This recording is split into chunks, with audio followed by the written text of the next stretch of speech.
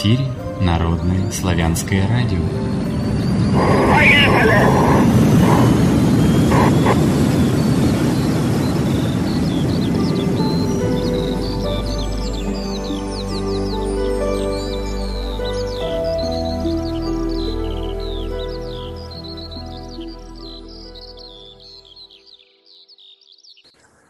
Всем здравия! С вами Народное славянское радио. Сегодня у нас на одном из современных календарей 5 мая 2016 года четверг, а по одному из старинных 24 день месяца посева и наречения 7524 лета Осьмица. Раз так, то мы нажива... назов... начинаем наш живой эфир, который будет посвящаться теме влияния правды и лжи на миропонимание. Главный соведущий Сурияр. Здравия Сурияр. А, здравия, Алексей. Здравия, все Радовичи. Хорошо. И школа родовой мудрости у нас проходит через каждую неделю по четвергам. И вот пришла у тебя, так я понимаю, мысли поговорить наконец-то про правду и ложь.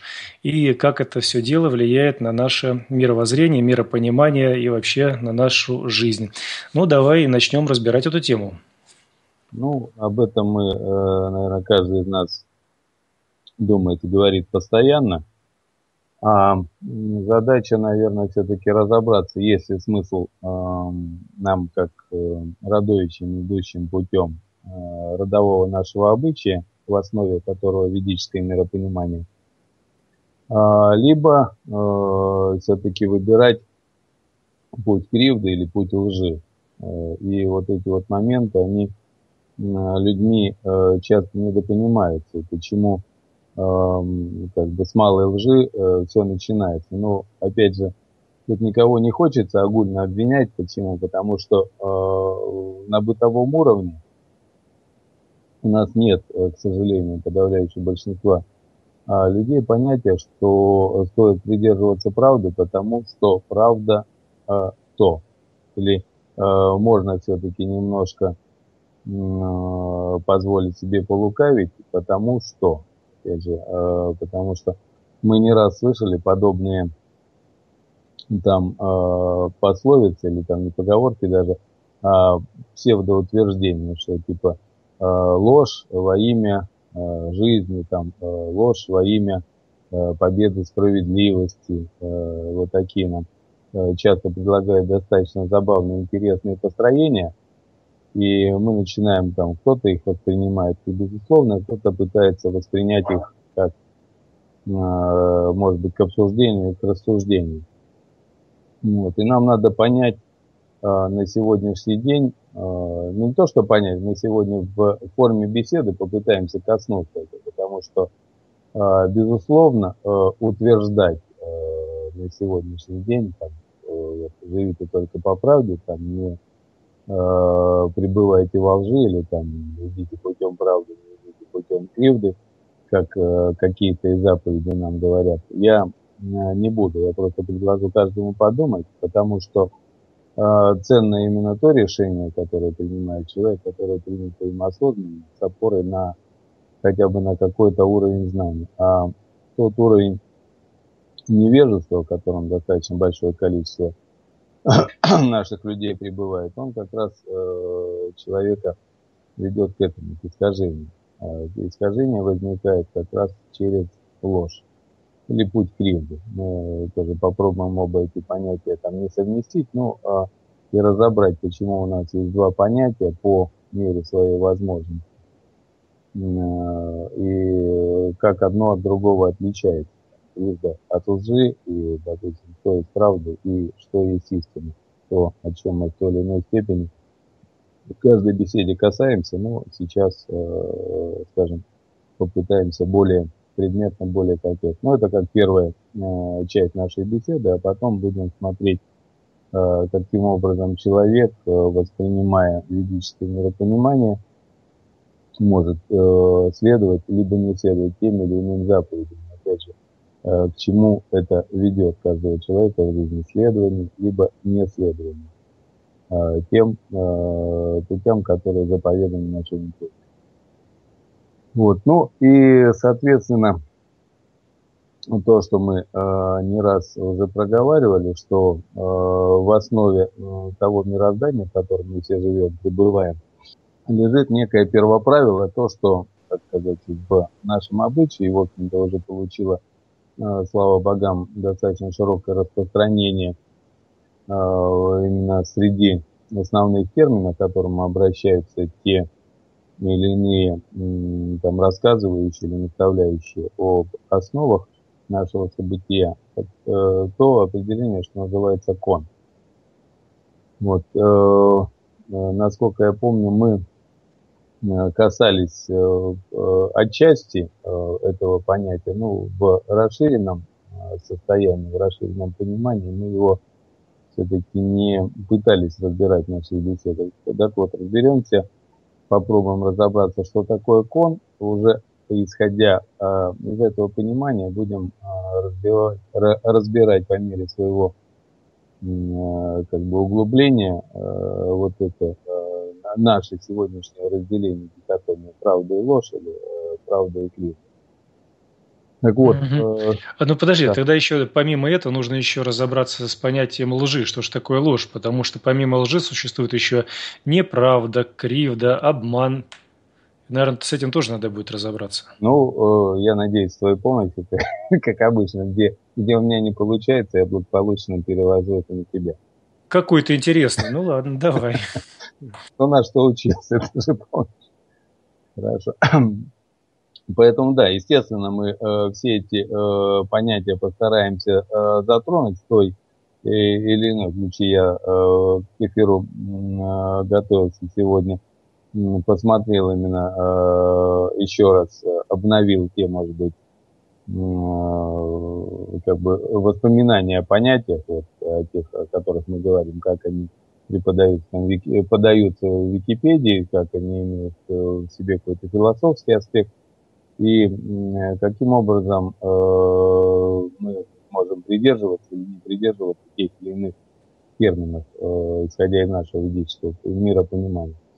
Поэтому вернемся мы э, к кону и от него потихоньку начнем двигаться. Опять же, по мере своего понимания. Если мы куда-то далеко уйдем, ты как э, Алексей, смотрящий за курсом, Э, предупреждай. А, Понятно. Я, я еще, я, оказывается, я еще и смотровой сегодня буду, смотрящий. Ладно, хорошо, давай. Потому что... не, не дам ни вправо, ни влево, ни на полшага. Да, да тема э, море разливанная, поэтому, чтобы, так сказать, не, не заблукаться, будем потихоньку, помаленьку, шаг за шагом. Ну хорошо, будем считать вот, так. Хорошо. Э, будем так считать, что вправо-лево шаг это попытка к побегу, а прыжок на месте провокация, да? Провокация, безусловно. Да. Ну, поехали. Хорошо. А, ты, как э, многие э, дни, месяцы, уже, так сказать, годы проводящий в эфирах, наверное, неоднократно слышал Э, слово или определение кон, и э, как бы много разных было разночтений, или все-таки там э, какое-то общее там понимание или э, точка зрения на сие определение. Ты можешь что-то э, как бы сейчас сказать, пока мы не развернули широко слишком? Ну, это то, что объединяет все наше, изначальное. То есть вот то, что изначально нам дано, то, что оно наше. То есть к, он. То есть это объединение он наш. То есть все тут, других, других вариантов. Да. да, это вот объединение всего нашего. Если мы от кона уходим, то мы вторгаемся в чужое, народное, чужеродное. И в этом случае тогда там э, для себя каких-то благостей, добра э, и ждать и искать нечего. Поэтому говорят, живи по конам, то есть потому, что дано изначально для нас, для всех. Да, поэтому мы э, как бы в одной из бесед э, не, не изменяет, касались понятия искон. А кон, ну, мы сегодня э, в той или иной степени опять же рассмотрим, потому что повторение мать учения, как говорилось уже неоднократно. Вот, значит, кон э, суть э, единого начала, то есть первое правило – которое э, является основным правилом, э, которое созидает всемирие. Э, если как бы по основе родового исконно всемирия созидает род, явленный во множестве ликов и сил, или как мы неоднократно говорили, что род в данном случае свет и дух у нас вполне могут определяться как синонимы, потому что выполняют единую функцию проявления всемирия. И вот Ра, как определение света во множестве, во множестве проявлений и деяний, точно так же включает в себя это понятие. Лишь род в виде света созидает всемирие. Так вот, э, первое правило, которое определяет движение света и всех сил, которые он пробуждает, проявляет, это кон. То бишь есть некое э, первичное правило, которое определяет, что созидается, как созидается и как это в соответствии с этим правилом может выглядеть. И даже более того, э, каким образом оно будет развиваться и изменяться потому что это и есть первая основа, которая лежит э, в основании того всемирия, в котором мы все э, с вами пребываем и э, проживаем, пребывая в яве. В осознанном состоянии, в нави, в менее осознанном, так сказать, э, в духе своем в той или иной степени соприкасаясь с правью, которая есть э, как раз производная в данном случае от кона, которая созидает семью.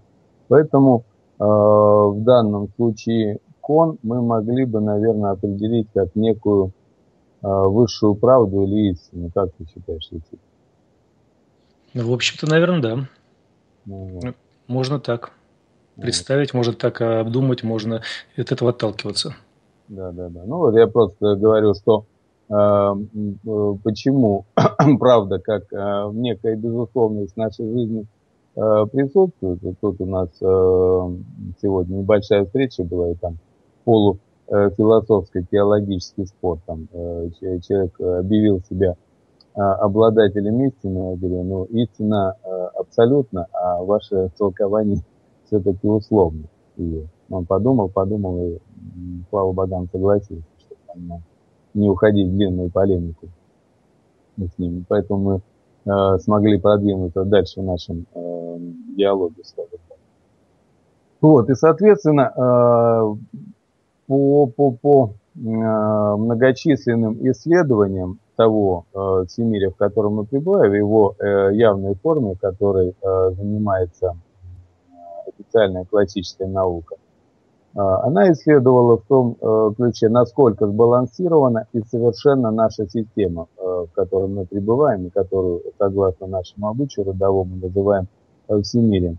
Я, может быть, могу ошибиться там в небольшой степени, но математический анализ очень серьезно построенный, там не на любительском уровне, а как раз на уровне Э, больших машин и больших программ, он показал, что система сбалансирована в такой степени, что даже э, там десятка умноженная, по-моему, единица умноженная десятку в 37 степени, если э, там где-то порядок цифр, э, я могу немного ошибиться, но те люди, которые в той или иной степени соприкасались с математикой, они э, представляют порядок этих цифр, э, 37 степень, Э, говорит, что даже если бы на единую частицу э, изменить, то все всемирие рассыпается в одночасье. Оно исчезает. То есть балансировать, сбалансированность его э, имеет высочайшую степень. То есть, э, если кто-то там, опять же, соприкасался с точной механикой или что-то еще, там э, тысячные доли или там даже миллионные доли, там микронные, тех или иных сопрягающихся деталей, они э, позволяют, либо не позволяют той или тому или иному механизму или той или иной машине вполне себе благополучно действовать. А в данном случае э, вот это та цифирь, которую я озвучил, я говорю, с некоторым возможным искажением, э, но не, не, не, в, не в плане смысла, но в плане, может быть, самой цифры немножко. Э, возможно, потому что точно сейчас э, дословно подразумевает, что это примерно равно нулю. То есть нет никакого, э, ни малейшего искажения, никакого какого-либо изменения, которое бы не являлось фатальным для той системы, в которой мы пребываем и которую мы называем семьей. Это и есть действие кона, и в том всемире, как он разворачивается, становясь исконом. То бишь искон, значит, если в терминологии нашего родового искона, родового обычая разбирать, подразумевает искон – это движение сил, созидающие всемирие. То есть это вещи безусловные и, как вот в этом опять же, понимание, если мы разбираем, да, высшая истина – это есть э, кон, это есть э, род, и это есть свет, и это есть веда изначальная. Потому что, как э, в родовом исконе сказано, я неоднократно озвучивал, что есть веда писанная, есть веда не писанная. То есть что, то, что, э, так сказать, изначальное слово, изначальный смысл, изначальное все – включает в себя вот как раз э, эту э, веду неписанную. И, э, как сказать, так как хранителем, подателем и созидателем этой веды как раз является изначальная, в нашем случае, как мы определяем, род, цвет, дух. Вот кон есть концентрированная скажем, выражение в данном случае, э, вот этой веда изначально, и он же, опять же, является основанием движения сил и основанием для проявления всемирия. Вот. Это то, что касается нас, то, что касается э, как бы, э, того мира, в котором все мы пребываем. Почему э, мы называем это правдой. И э, теперь попытаемся э, разобраться, каким образом э, вот этот кон э, пребывает во всемире и пребывает ли он в нас и каким-то образом мы взаимодействуем со всемирием посредством этого кона или не взаимодействуем. Потихоньку мы будем подходить э, к понятию э, правды, э, правды э, человеческой и правды высшей как таковой. Алексей? Э, ну, в принципе, все говоришь правильно, так что мне что добавить? Если хочешь, добавлю, конечно. Надо понимать, что существует несколько вариантов трактовки слова «правда». Кто-то расшифровывает, что по «ра» дано, то есть дано по свету божественной мудрости. Кто-то говорит, да. Да, да, кто-то говорит, что это связано э, там праве, то есть то, что управляет, и потому тоже дано оттуда. Ну, так или иначе, оно между собой пересекается, и, и то, и другое имеет, э, мне кажется, место в жизни в нашей, и тому и другому можно следовать. Угу.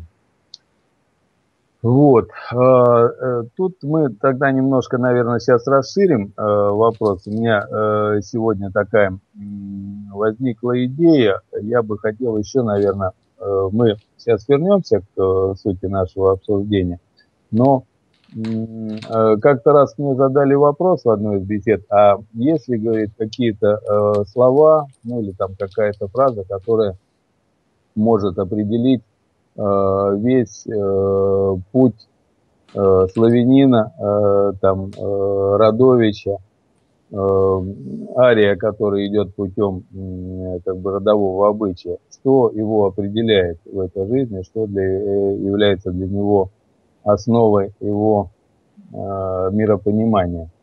Вот. Ну, мы как э, долго там э, э, судили, рядили, в общем-то, э, к ведающим э, не раз подобным вопросам э, обращались, но э, там, как правило, э, сужается и какие-то основные понятия тут вылезают. Как казалось, можно это где-то в районе двух-трех слов. И все практически нам а, как бы представить. Ну, опять же, разворачивая э, одно из другого и как бы объясняя, как одно из другого возникает и как одно из другого а, получается. Поэтому, Алексей, может, у тебя какие-то есть предположение или там, может, готовая какая-то идея в этом ключе. Э, Ты конкретно задай вопрос, что тебя интересует. Э, Ты меня это не путай. Э, нет, вопрос простой. Примерно, он, как я говорю, простой в больших кавычках. В том ключе, что я говорю, в основе нашего глубинного миропонимания – есть некоторые а, а, определяющие практически все наше движение слова или понятия. Вот, какие бы э, это могли быть понятия, потому что вот мы кон разбираем, но кон, он не э, включен, наверное, нашу, э, в нашу повседневную жизнь э, и деятельность, а какие-то слова вот повседневной э, жизни своей и деятельности мы постоянно употребляем, даже, может быть, не задумываясь э, до, в достаточной степени об э, их глубине. Вот э, у тебя какие-то такие слова есть, которые, ну, вот пальцем условно ткнул, вот это, безусловно, э, считаю, что соответствует глубинам. Это ну, не тест, Алексей, не, не Нет, я про, не просто, ты вот так задаешь вопрос сходу. Я даже не думаю, просто живу как-то в этом во всем. Оно и не разбирался никогда по косточкам. Я вижу целиком вот это все, и поэтому мне как-то в, в что-то вычленять всегда тяжеловато будет. Но раз задал вопрос, ну, наверное, это то, что у нас написано в нашем сегодняшнем анонсе. Это, наверное, правда, это, наверное, миропонимание – мировоззрение, вот эти моменты. И, естественно, если мы говорим о правде, то это правь, поскольку, ну, как без этого невозможно существовать. А там дальше это уже идет общинность, мироустройство, исходя из этого всего, и много других слов. Но вот без чего невозможно существовать. Ну, наверное, и еще для уже если индивидуально смотреть, то это, конечно же, совесть. Вот как мерило всего этого. Без совести уже тут никуда не денешься. Вот, вот. Ну, где-то к такому же мы э, сюжету э, приходим постоянно, да, э, там не в баталиях, а в беседах с людьми, которые получаются, которые хотят приблизиться. Почему? Потому что, э, как я уже неоднократно озвучивал, но просто сама э, как бы схема видовского обучения, она подразумевает, что получающийся сам э, прошел путь э, своего познания, путь своего исследования, потому что э, то, что условно вливается э, только в уши, но не имеет подтверждения в действии, это зависает как информация, а та информация, как мы уже разбирали не раз, которая не переведена в уровень знания, она достаточно легко может стать тем мороком, который уводит нас от чистого восприятия. Ну, ну да, если надо так, э, наверное, рассуждать, что просто информация, просто информация, она может э, стать ненужным грузом который в конечном итоге может отложиться на ваших мозгах и привести вас куда не надо. О чем сказал, то есть морок, майя и так далее. И надо понимать, что информация нас окружает везде и повсеместно. То есть проехала машина, информация, шумит листочек дерева, информация, кто-то кричит там за углом, тоже информация, где-то там что-то трескает, тоже информация. Но встает вопрос, из этой информации вы какие-то выносите знания или не выносите, становится для вас это знанием или не становится, и вообще, что для вас это дает. Потому что если бы человек вообще на всю информацию реагировал, то в этом случае, наверное, бы он скоро сошел с ума. У нас потому что везде информация э, окружает, во всем. Ну, поэтому и говорят сейчас э, достаточно откровенно, что на сегодняшний день, э, я уже не раз на это ссылался, что современный человек отравлен информацией. Почему? Потому что он не в состоянии ее осознанно переработать, э, потому что нет ни уровня развлечения, ни условно тот э, слабенький процессор, который у нас обслуживает текущую информацию, не в состоянии кстати, переработать э, весь этот вал ненужной информации. Почему, как люди часто говорят, я что-то заморочился, потому что реально э, морок заменил уже ему все. И в этом мороке он в постоянном режиме пребывает и, к сожалению, не может из него выбраться. Вот. Это э, то, что касается. Значит, вернемся к основам, да, то, то что, э, как ты сказал, безусловно, совесть, да? Алексей. Да, естественно. Если мы берем в общих, то это в общих. Если мы берем в частности, то совесть для человека – это первое, то, что определяет э, его поступки, является мерилом его поступков, его мышления и то, что помогает вообще разобраться с правдой, кривдой, ложью и так далее.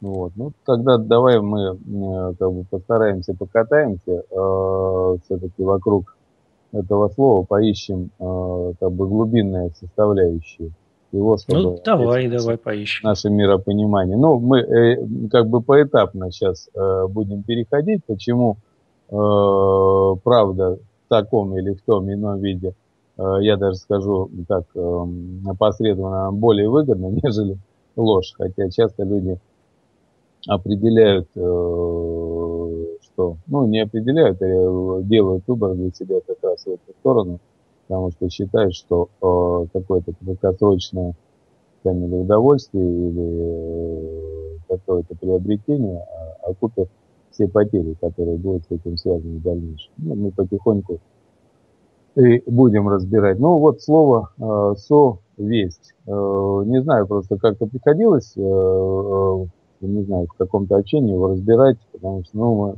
мы с получающимися его разбирали там э, до каких-то определенных косточек. У тебя, может, кто-то свое мнение есть?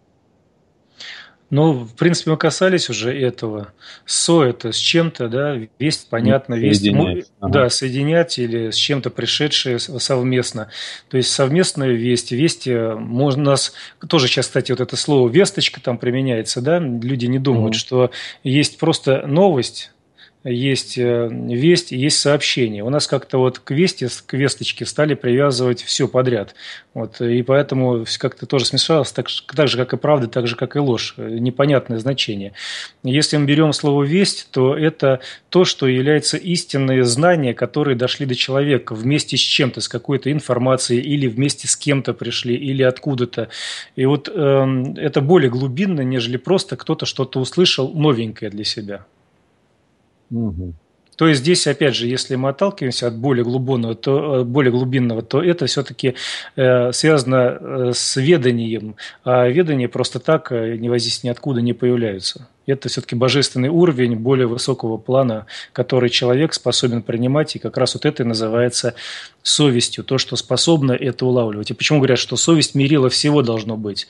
Потому что если мы получаем, идем от ведания, а ведание понятно от кого, от наших пращуров идет, от наших богов и предков, то в этом случае ничего левого, кривизны никакой не может быть. Ежели мы просто так живем на свете, ну тогда совесть, наверное, здесь неупотребима. Вот как-то так. То есть веда, ведание, они связаны с совестью, нераздельно. Хорошо. Ну я тогда вот примерно тот путь, который ты предложил, я бы его еще раз э, как бы сообща э, прошел. То есть мы вот э, э, со как слог выделяем, и остается только весть.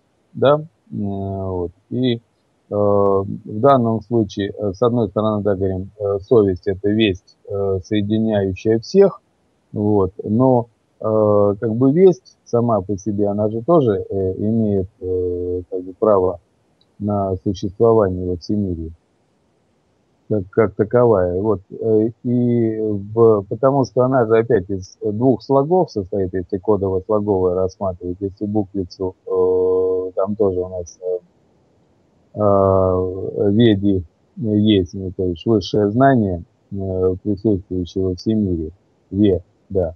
Вот. А есть СТ, СТ-слог, если по кодово-слоговому разбирать, это э, соединенная или стоящая твердь. Ну, стул, стол, стена.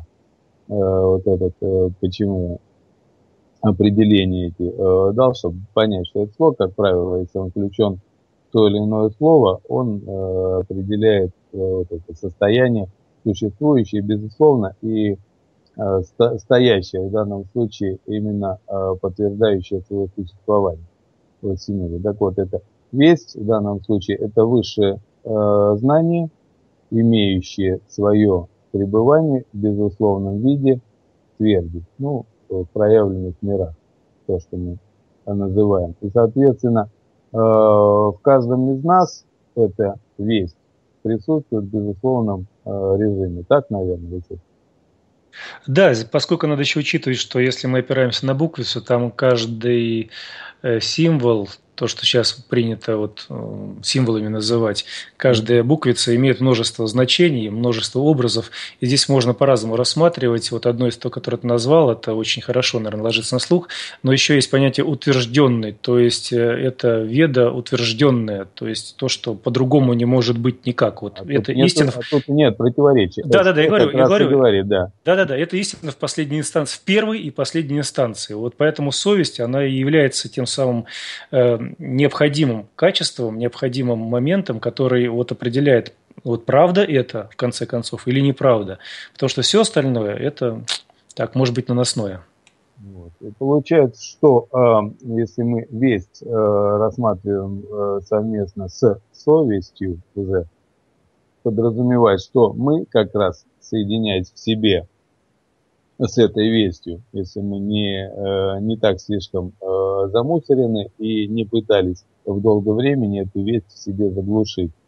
А мы вот э, как раз это восприятие, эту способность ощутить эту весть в себе, в большому счету, я как бы настаиваю, наверное, на таком определении в данном случае, что именно возможность определить весть является в нас совестью. И если мы очень долго отказывались или не развивали в себе эту способность, то весь в нас никуда не исчезает, но наша способность ее различать вполне может исчезнуть.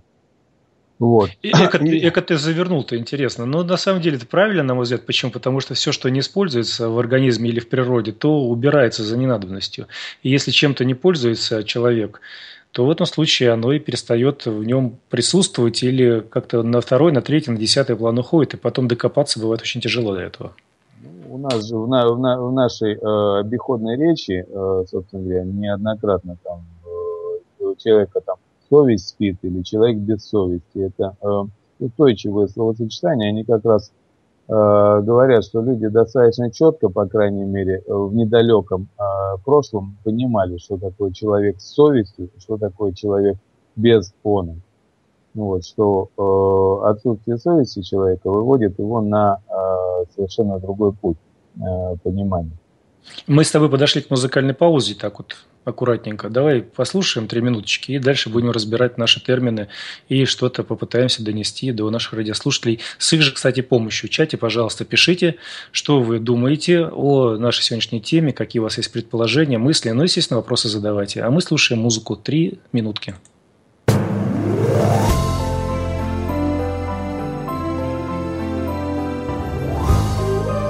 Вы слушаете Народное славянское радио.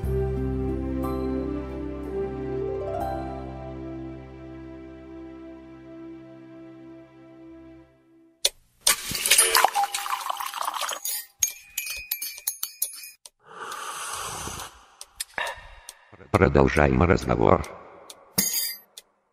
Продолжаем разговор на Народном славянском радио. Напомню, что по одному из современных календарей 5 мая 2016 года четверг, по одному из старинных 24 день месяца посева наречения, 7524 лета, ось Мица. Мы говорим в сегодняшней нашей беседе про влияние правды и лжи на миропонимание человека. Главный соведущий Сурияр, и это наша передача очередная в школе родовой мудрости. Итак, пока мы пристрелку ведем, пока разбираемся с терминами, так мило общаемся между собой и вот принимаем вопросы из чата от наших радиослушателей. Первый вопрос я уже себе э, занес в блокнотик, так что не скупитесь, пишите, будем отталкиваться от ваших вопросов. Но вопросы должны быть по теме, а не просто так, а бы просто задать. Продолжай. А, хорошо, но мы вернемся к тому, на чем мы, в общем-то, прервались, к слову «весть» и «совесть», да, то, что вот это вот определение, которое мы с тобой сообща в очередном 100 500 исследований провели и получили, да, что Э, совесть – это способность человека воспринимать э, весть, которая соединяет всемирье, а, либо неспособность. Это в данном случае, что так трактуется как отсутствие совести, либо совесть у человека. Это э, в таком ключе. Поэтому, если мы опять же начнем разбирать, разбирать слово «весть» в этом контексте, да, перед этим мы Э, касались э, одного из основных понятий э, ведического исконного миропонимания, как раз слово «кон». Так вот, кон в данном случае, или его, опять же, более развернутая версия, искон, это точно так же движение силы, правды, вышней во всемире, и поэтому можем ли мы соотнести вот э, в этом контексте весть и э, восприятие кона? То есть соотносятся ли как-то эти понятия, Алексей, как ты Ну, я думаю, что да, соотносится. Давай это более, может быть, точно как-то мы сформулируем, вот, потому что давай, давай, поня- давай. поня- понятия, я... понятия, разные, понятия разные бывают. Вот давай еще разок, давай задавать вопрос так, как будто не только мне задаешь, но и нашим радиослушателям. Вот наши естественно, радиослушатели. Естественно. Я, вот э... Сформулируй так, чтобы радиослушателям это было адресовано. Это так, Алексей. Вот, ну, у меня, у меня же всегда есть э, надежда и мечта, что ты ответишь на все вопросы. Хорошо. Э, ну, значит, еще раз. Э, мы разбираем весть как некое безусловное там знание, незнание. Ну, мы можем тут в данном случае употребить слово пом-пом-пом. Так, подожди, информация. Какой синоним мы как-то подбирали? Ты не помнишь информацию? Сведение. Сведение. Вот. Сведения о чем-либо. Вот, данном... некоторые, некоторые говорят, что это может быть сведения, некоторые говорят, что это информация может быть энергия. Вот энергетический некий не, посыл, не, не, не, передача, нет. передача Инф... какой-то энергии, может быть информация, так. Информация, это информация. Да, не, подожди, вот давай так рассуждать. Если все вокруг нас энергия, и энергия доперла для кого-то, таким простым сленгом, если говорить, да, то это получается, в энергия вошла. То есть вот э, мы можем тогда и так, как ты говоришь, сведения, да, и в то же время мы можем говорить, что это энергия энергия, вот дошедшая энергия, которая усвоена человеком. Хорошо. Усвоена. Просто, э, да, есть... Э, а сведения, а вот когда говоришь сведения, тут уже слово ведение присутствует. А ведение уже не может быть просто информация. Тоже вот так-то вот скользко. Вот сведения – хорошее слово. Поэтому я, я говорю, что слово э, информацию по отношению к вести мы не употребляем. Почему? Потому что тут сразу возникает несоответствие. Да, противоречие. Как? Да. Угу. Вот. Э, скажем, э, весть – это сведение, которое э, распространено во, всем всемире, и, соответственно, каждый из нас является частью этого всемиря, и в каждом из нас, соответственно, присутствует весть. Точно так же мы попытались сейчас соотнести то понятие, тот термин, который мы разбирали чуть раньше, понятие кон искон. Кон как первооснова, первого правила Э, проявление всемирия, и искон – это уже э, само проявление движения сил как, как таковое. Вот, по сути, весть, кон и искон мы э, в данном случае там соотносим. Почему? Сейчас попробуем вот более, наверное, расширенно. Значит, весть, она в данном случае о чем нам как бы свидетельствует, находясь в нас? Она как раз свидетельствует нам о том или ином движении сил во всемирье. Правильно?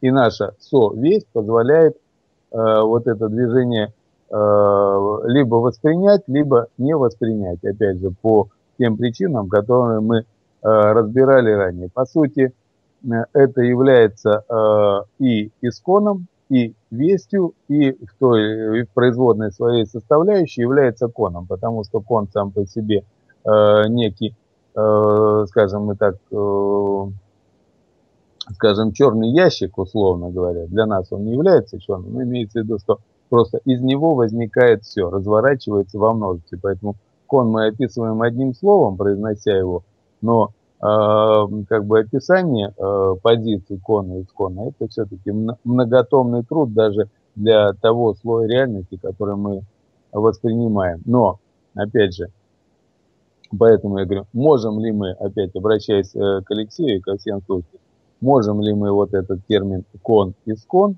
а, совместить э, с термином весть в своем понимании, потому что э, я, с одной стороны, берусь это утверждать, потому что тот уровень исследований и то коловедущий, который в том или ином э, ключе свое исследование продолжает и э, доносит. Э, тут э, как бы среди э, ведающих, с которыми мне приходилось встречаться и беседовать, по большому счету мы не пришли к какому-либо противоречию, потому что это тоже важно, единое понимание. Э, ты знаешь, в чем дело? С одной стороны, ты прав, но есть э, такие понятия в мире, как э, поглощ... нечто большее поглощает всегда нечто малое. Ну, или при, да. да, или при помощи какого-то малого можно познавать большое. Вот если мы говорим о коне, то это наше все. Да. А весть весть, это ты же не можешь сразу все получить сразу. Вести, они постоянно приходят человеку, постоянно приходят знания, понимание, ощущения и так далее. Поэтому весть, приходя из кона, является его составляющей, доносящей до человека какую-либо часть этого кона. Его да, его, поэтому объединять вместе это, ну, наверное, не получится, потому что машина и скорость, они связаны между собой, но это все-таки не одно и то же. Они друг от, без друга, ну, наверное, вряд ли могут существовать. Хорошее уточнение, хорошее уточнение. Тут э, с тобой соглашусь, безусловно, но э, на уровне нашего вот э, сегодняшнего, или даже, я бы сказал, бытового э, понимания, э, оно э, как бы может быть соотнесено, потому что я и сказал, что весь это э, как бы в нас присутствует в каком ключе, что понятие ощущение движения сил, которые происходят в всемире, да, это производная икона. Но в нашем ключе икон и, э, и производная присутствуют у нас одновременно, потому что каждый из нас, как и является частью всемирия, и э, точно так же является производной от кона. А и весть в данном случае тоже является производной от кона. Почему? Я говорю, для нас вот весть и совесть – это возможность восприятия и ощущения высшей правды. Так? Я думаю, да, ты здесь вот, вот если так рассматривать, ты абсолютно прав. Почему? Потому что если в нас есть э, божественное начало, то в нас есть и тот божественный мир, который когда-то был создан. Это однозначно. Другое дело, что как познавая внешний мир, так и познавая внутренний мир, человек иногда не может это познавать все сразу – Поэтому да, если так говорить, то весть, она изначально у нас есть, и весть это является и частью, и самим коном в этом случае. Но мы-то говорим о том, что человек не сразу все может познать, поэтому даже себя он познает постепенно. Поэтому можно, конечно, и говорить, что это одно и то же, но с другой стороны можно говорить, что постепенно... Вот производное пониманием... одно, как ты говоришь, больше поглощает меньше, это безусловно. И опять же, угу. весть ну, во всяком случае, и, и так, и так, я думаю, и так, и так это может быть. И так у кого-то это правильно сразу, у кого-то это правильно не сразу, у кого-то вообще это никак не проявлено. То есть в нем это есть, но он это не понимает. К сожалению, такие тоже варианты. А может, не к сожалению. Такие варианты просто есть. А, иногда бывает, что человек по чуть-чуть открывает. Ну, вот кто-то быстрее математику познает, да, и в уме складывает большие цифры, а кто-то 2 плюс 2 и полчаса думает, а сколько же там в итоге-то получается. Ну, поэтому, я говорю, весть э, это нечто, пребывающее в нас безусловно, а совесть имеет в себе определенные условия. Опять же, мы либо ее э, активируем, развиваем, расширяем нашу способность восприятия вести, либо гасим. Вот, собственно говоря, наверное, в таком ключе.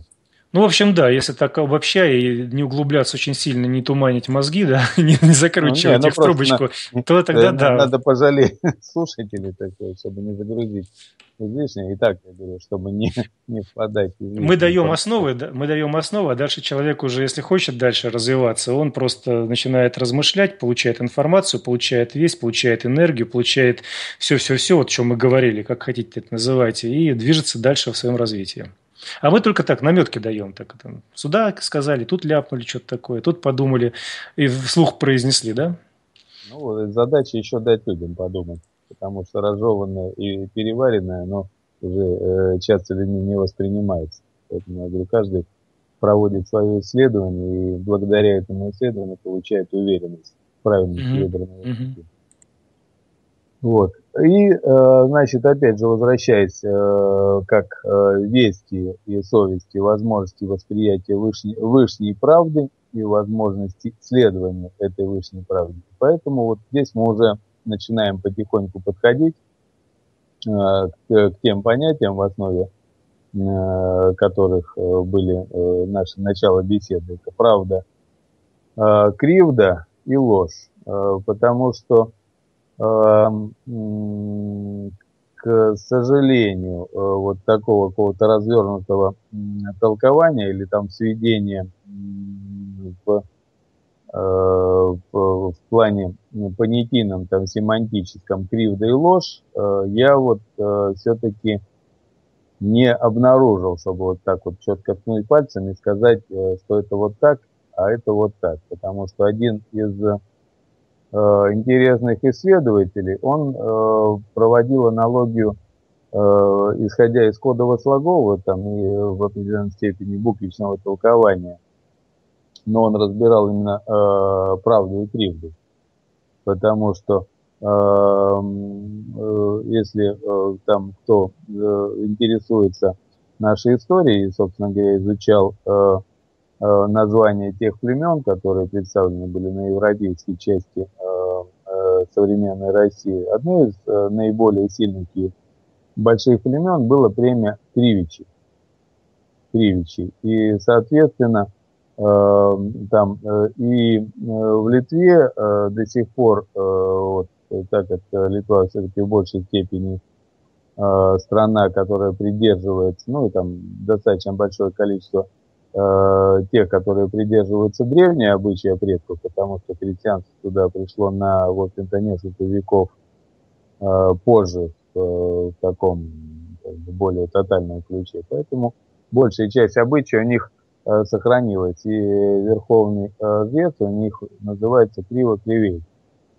То есть э, вот этот вот элемент. Поэтому э, само происхождение слова, да, кривда, оно под э, определенным Э, вопросом, но если мы, как бы, опять же, по кодово-слогово, по семантике, в той или иной степени касаясь э, филологии, мы понимаем, что э, вот, э, правда нами воспринимается как путь прямой, безусловный, э, опирающийся, с одной стороны, на восприятие света, опять же, если возвращаясь э, к тому родовому искону, э, который мы разбираем и пытаемся понять его в той или иной степени. И э, кривда подразумевает, что это некое искажение пути. Так вот, э, то, то, то исследование, которое э, провел человек, я в данном случае не, не буду настаивать, а просто как э, для э, восприятия того или иного человека, каждый чтобы сам. Да, правда, э, путь, вот, безусловное следование свету и э, тому, опять же, совести и способности восприятия высшей истины, которая вот исходит из правил, это одно. А кривда – это путь следования более низким состоянием, то бишь то, что нас ведет если там ближе к э, научной теме, сказать, инстинкт выживания. Потому что он точно так же нам необходим, но он не, э, как бы не соответствует э, всей полноте того пути, который вот ведет нас именно путем путем духа, путем созидания, путем постижения. Это вот просто одна из версий, не более того. Вот. Алексей, у тебя, может, есть какие-то свои я думаю, что, наверное, не стоит нам кривичей э, да. Э, мешать со словом кривда. Вот почему. Да. Потому что к – это нечто объединяющее или направляющее, а еще древнее слово рива существовало. Поэтому это те, которые были рядом с Ривой. Вот что такое Рива, сейчас я точно не скажу. А вот кривда, искривление – это немножечко другое. И писались эти слова по-разному. По Если мы берем буквицу, да. то вот это все учитывать. Э, поэтому здесь надо понимать, еще существует там, если смотреть на какие-то иностранные слова, вот у них там есть, например, там Рива, там это река, да, вроде, насколько я помню, э, то здесь вот э, надо найти значение древнего нашего слова, и тогда многие э, понятия, связанные с кривичами, станут на свои места, а не то, что там кривые все ни, ходили. Ни в коем случае, ни в коем случае кривичи не, не наделяю качествами кривды я говорю, что просто э, как бы э, звуковое э, сопровождение одно, э, написание оно другое, э, соответственно. Но так как звуковое сопровождение, ну вот К, да, суть, э, основа э, бытия, корень, как по э, одному из толкований буквичных, э, вот. Ри, э, нисходящий, Э, идущая. Ни и ри – это вот э, слоги, э, слоги, обозначающие движение сверху вниз. Вот. А, опять же, кри, веда. Также про веда у нас есть. Поэтому мы, наверное, не будем в данном случае так глубоко сейчас разбираться, пока еще оставим это на тот уровень более глубокого, более цельного исследования, чтобы, если э, разбирать, опять же, филологию и там какие-то кодовые составляющие самого слова. А, по сути, мы э, тогда разберем тут более э, четко. Вот есть путь э, следования правде или высшей правде, которая у нас э, представлена э, в виде совести, либо попытка э, ее искажения, то, что называется следование путем э, лжи. Э, вот в этом ключе. Э, поэтому надо понять, э, каким образом, опять же, мы с одной стороны э, заявлено, как эм, как, каким образом э, путь лжи меняет, э, влияет на миропонимание или ложь в, наш, э, в нас. Или э, сама по себе э, схема вот, бытия в двух состояниях, правды или лжи, как, каким образом она формирует вообще наш жизненный путь. Мы немножко расширим э, миропонимание до потому что э, в основе нашего жизненного пути, естественно, находится наше миропонимание – и поэтому вот следование тому или иному пути выводит нас на те или иные э, состояния нашего события и бытия в том числе. Вот. Э, значит, э, как мы разбирали э, в одной из предыдущих бесед, три составляющих человека. Да, тело, душа и дух, как таковые. Три, три единства, то из которых состоит человек. И чем он, э, собственно говоря, взаимодействует э, с телом, с миром явным, душой с миром Нави, миром предков, и духом воспринимает, вот как бы, собственно говоря, дух и соприкасается в нас с высшей правдой, то, то, то что, как сказать, мы определяем как мир правит, как таковой. Вот. Э, значит, э, ежели человек начинает, э, ну вот как у нас один из элементов, отринул весть в себе, и, соответственно, совесть в нем начинает засыпать. Все меньше и меньше, все хуже и хуже проявляется. Соответственно, за связь с этим отвечает у нас дух как таковой. Так вот, э, получается, если мы идем путем лжи и начинаем искажать себе весть или отказываться вообще ее воспринимать, значит, э, что с нами может происходить, Алексей? Хм, что с нами? Да ничего хорошего. Ждет, как, ждет тебя гиена огненная. Кто такая гиена? Да, пекло откроет перед тобой широкие двери. Да. Вот. Э, соответственно, вот э, это наше триединство начинает разрушаться. Почему? Потому что если ты отказываешься воспринимать вещь, соответственно, дух тебе, э, тот, который является носителем э, и возможностью взаимодействия э, и восприятия высшей правды, начинает э, как бы попадает в разорванное с телом и своей жизнью состояние. Поэтому, ежели ты идешь путем правды и имеешь в себе весть, значит ты э, определяешься по жизни э, как тот, который, э, следуя вести, находит правильный путь. Почему? Потому что э, весть о чем нам говорит? Весть нам говорит о движении сил во всемире и позволяет нам почувствовать э, в большей или меньшей степени осознания, соответствует ли наш путь э, пути э, правды, пути совести, либо не соответствует. Так вот, а если ты э, в каждом своем э, бытие, в малом или большом, начинаешь э, проецировать морок, почему? Потому что если в тебе есть высшая правда, она там изложена, может быть, в словах или в ощущениях, а ты в противовес этой правде начинаешь проецировать некую другую составляющую, то, что мы называем лживой, значит, это искажение происходит во всемире, потому что как мы в одной из э, бесед касались, говорю, каждый из нас является тем э, Божичем, Божичем. И слава богам, особо ни у кого это сомнений не вызывает. Еще бы немножко добавить чуть больше веры, тогда бы люди больше ответственности на себя смогли на, взять на свою жизнь. И, соответственно, если вы свою божественную энергию, которую каждый из нас в себе несет, божественную силу,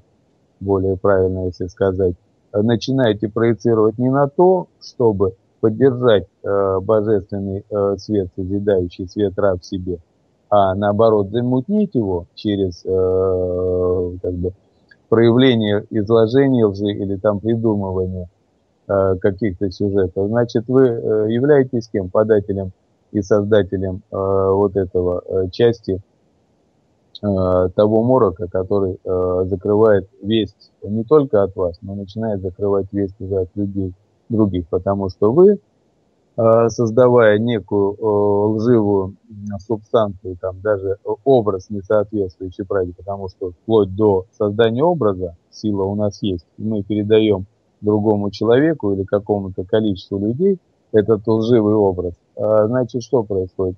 Вы разрушаете свою правду, вы разрушаете свою связь с вестью, вы э, созидание э, то, которое производит свет во всемире, заменяете путем морока. То бишь вы своих родовичей, себя и э, все движение света во всемире пытаетесь погрузить э, во тьму и э, в морок. Вот э, как бы такая вещь, казалось бы, простая, возникает на уровне безобидной лжи, даже на бытовом уровне.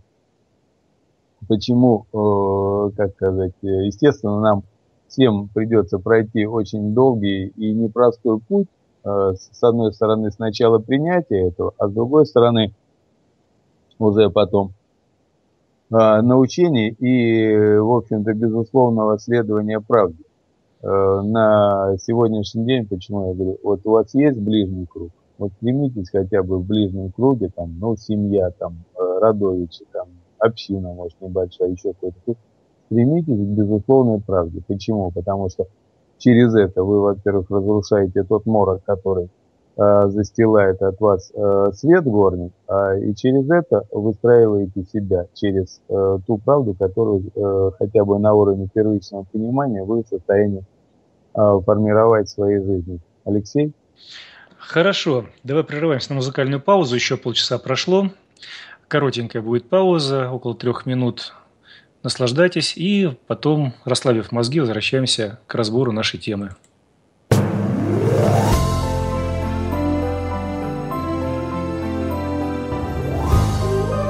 Вы слушаете Народное славянское радио.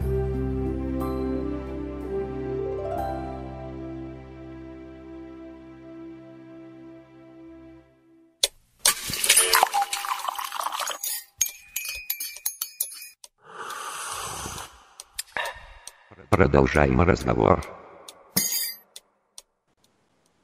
Продолжаем разговор на Народно-славянском радио. Сегодня у нас 5 мая 2016 года, четверг, по одному из современных календарей, по одному из старинных, 24 день месяца пробуждения природы, 7524 лета, осьмица.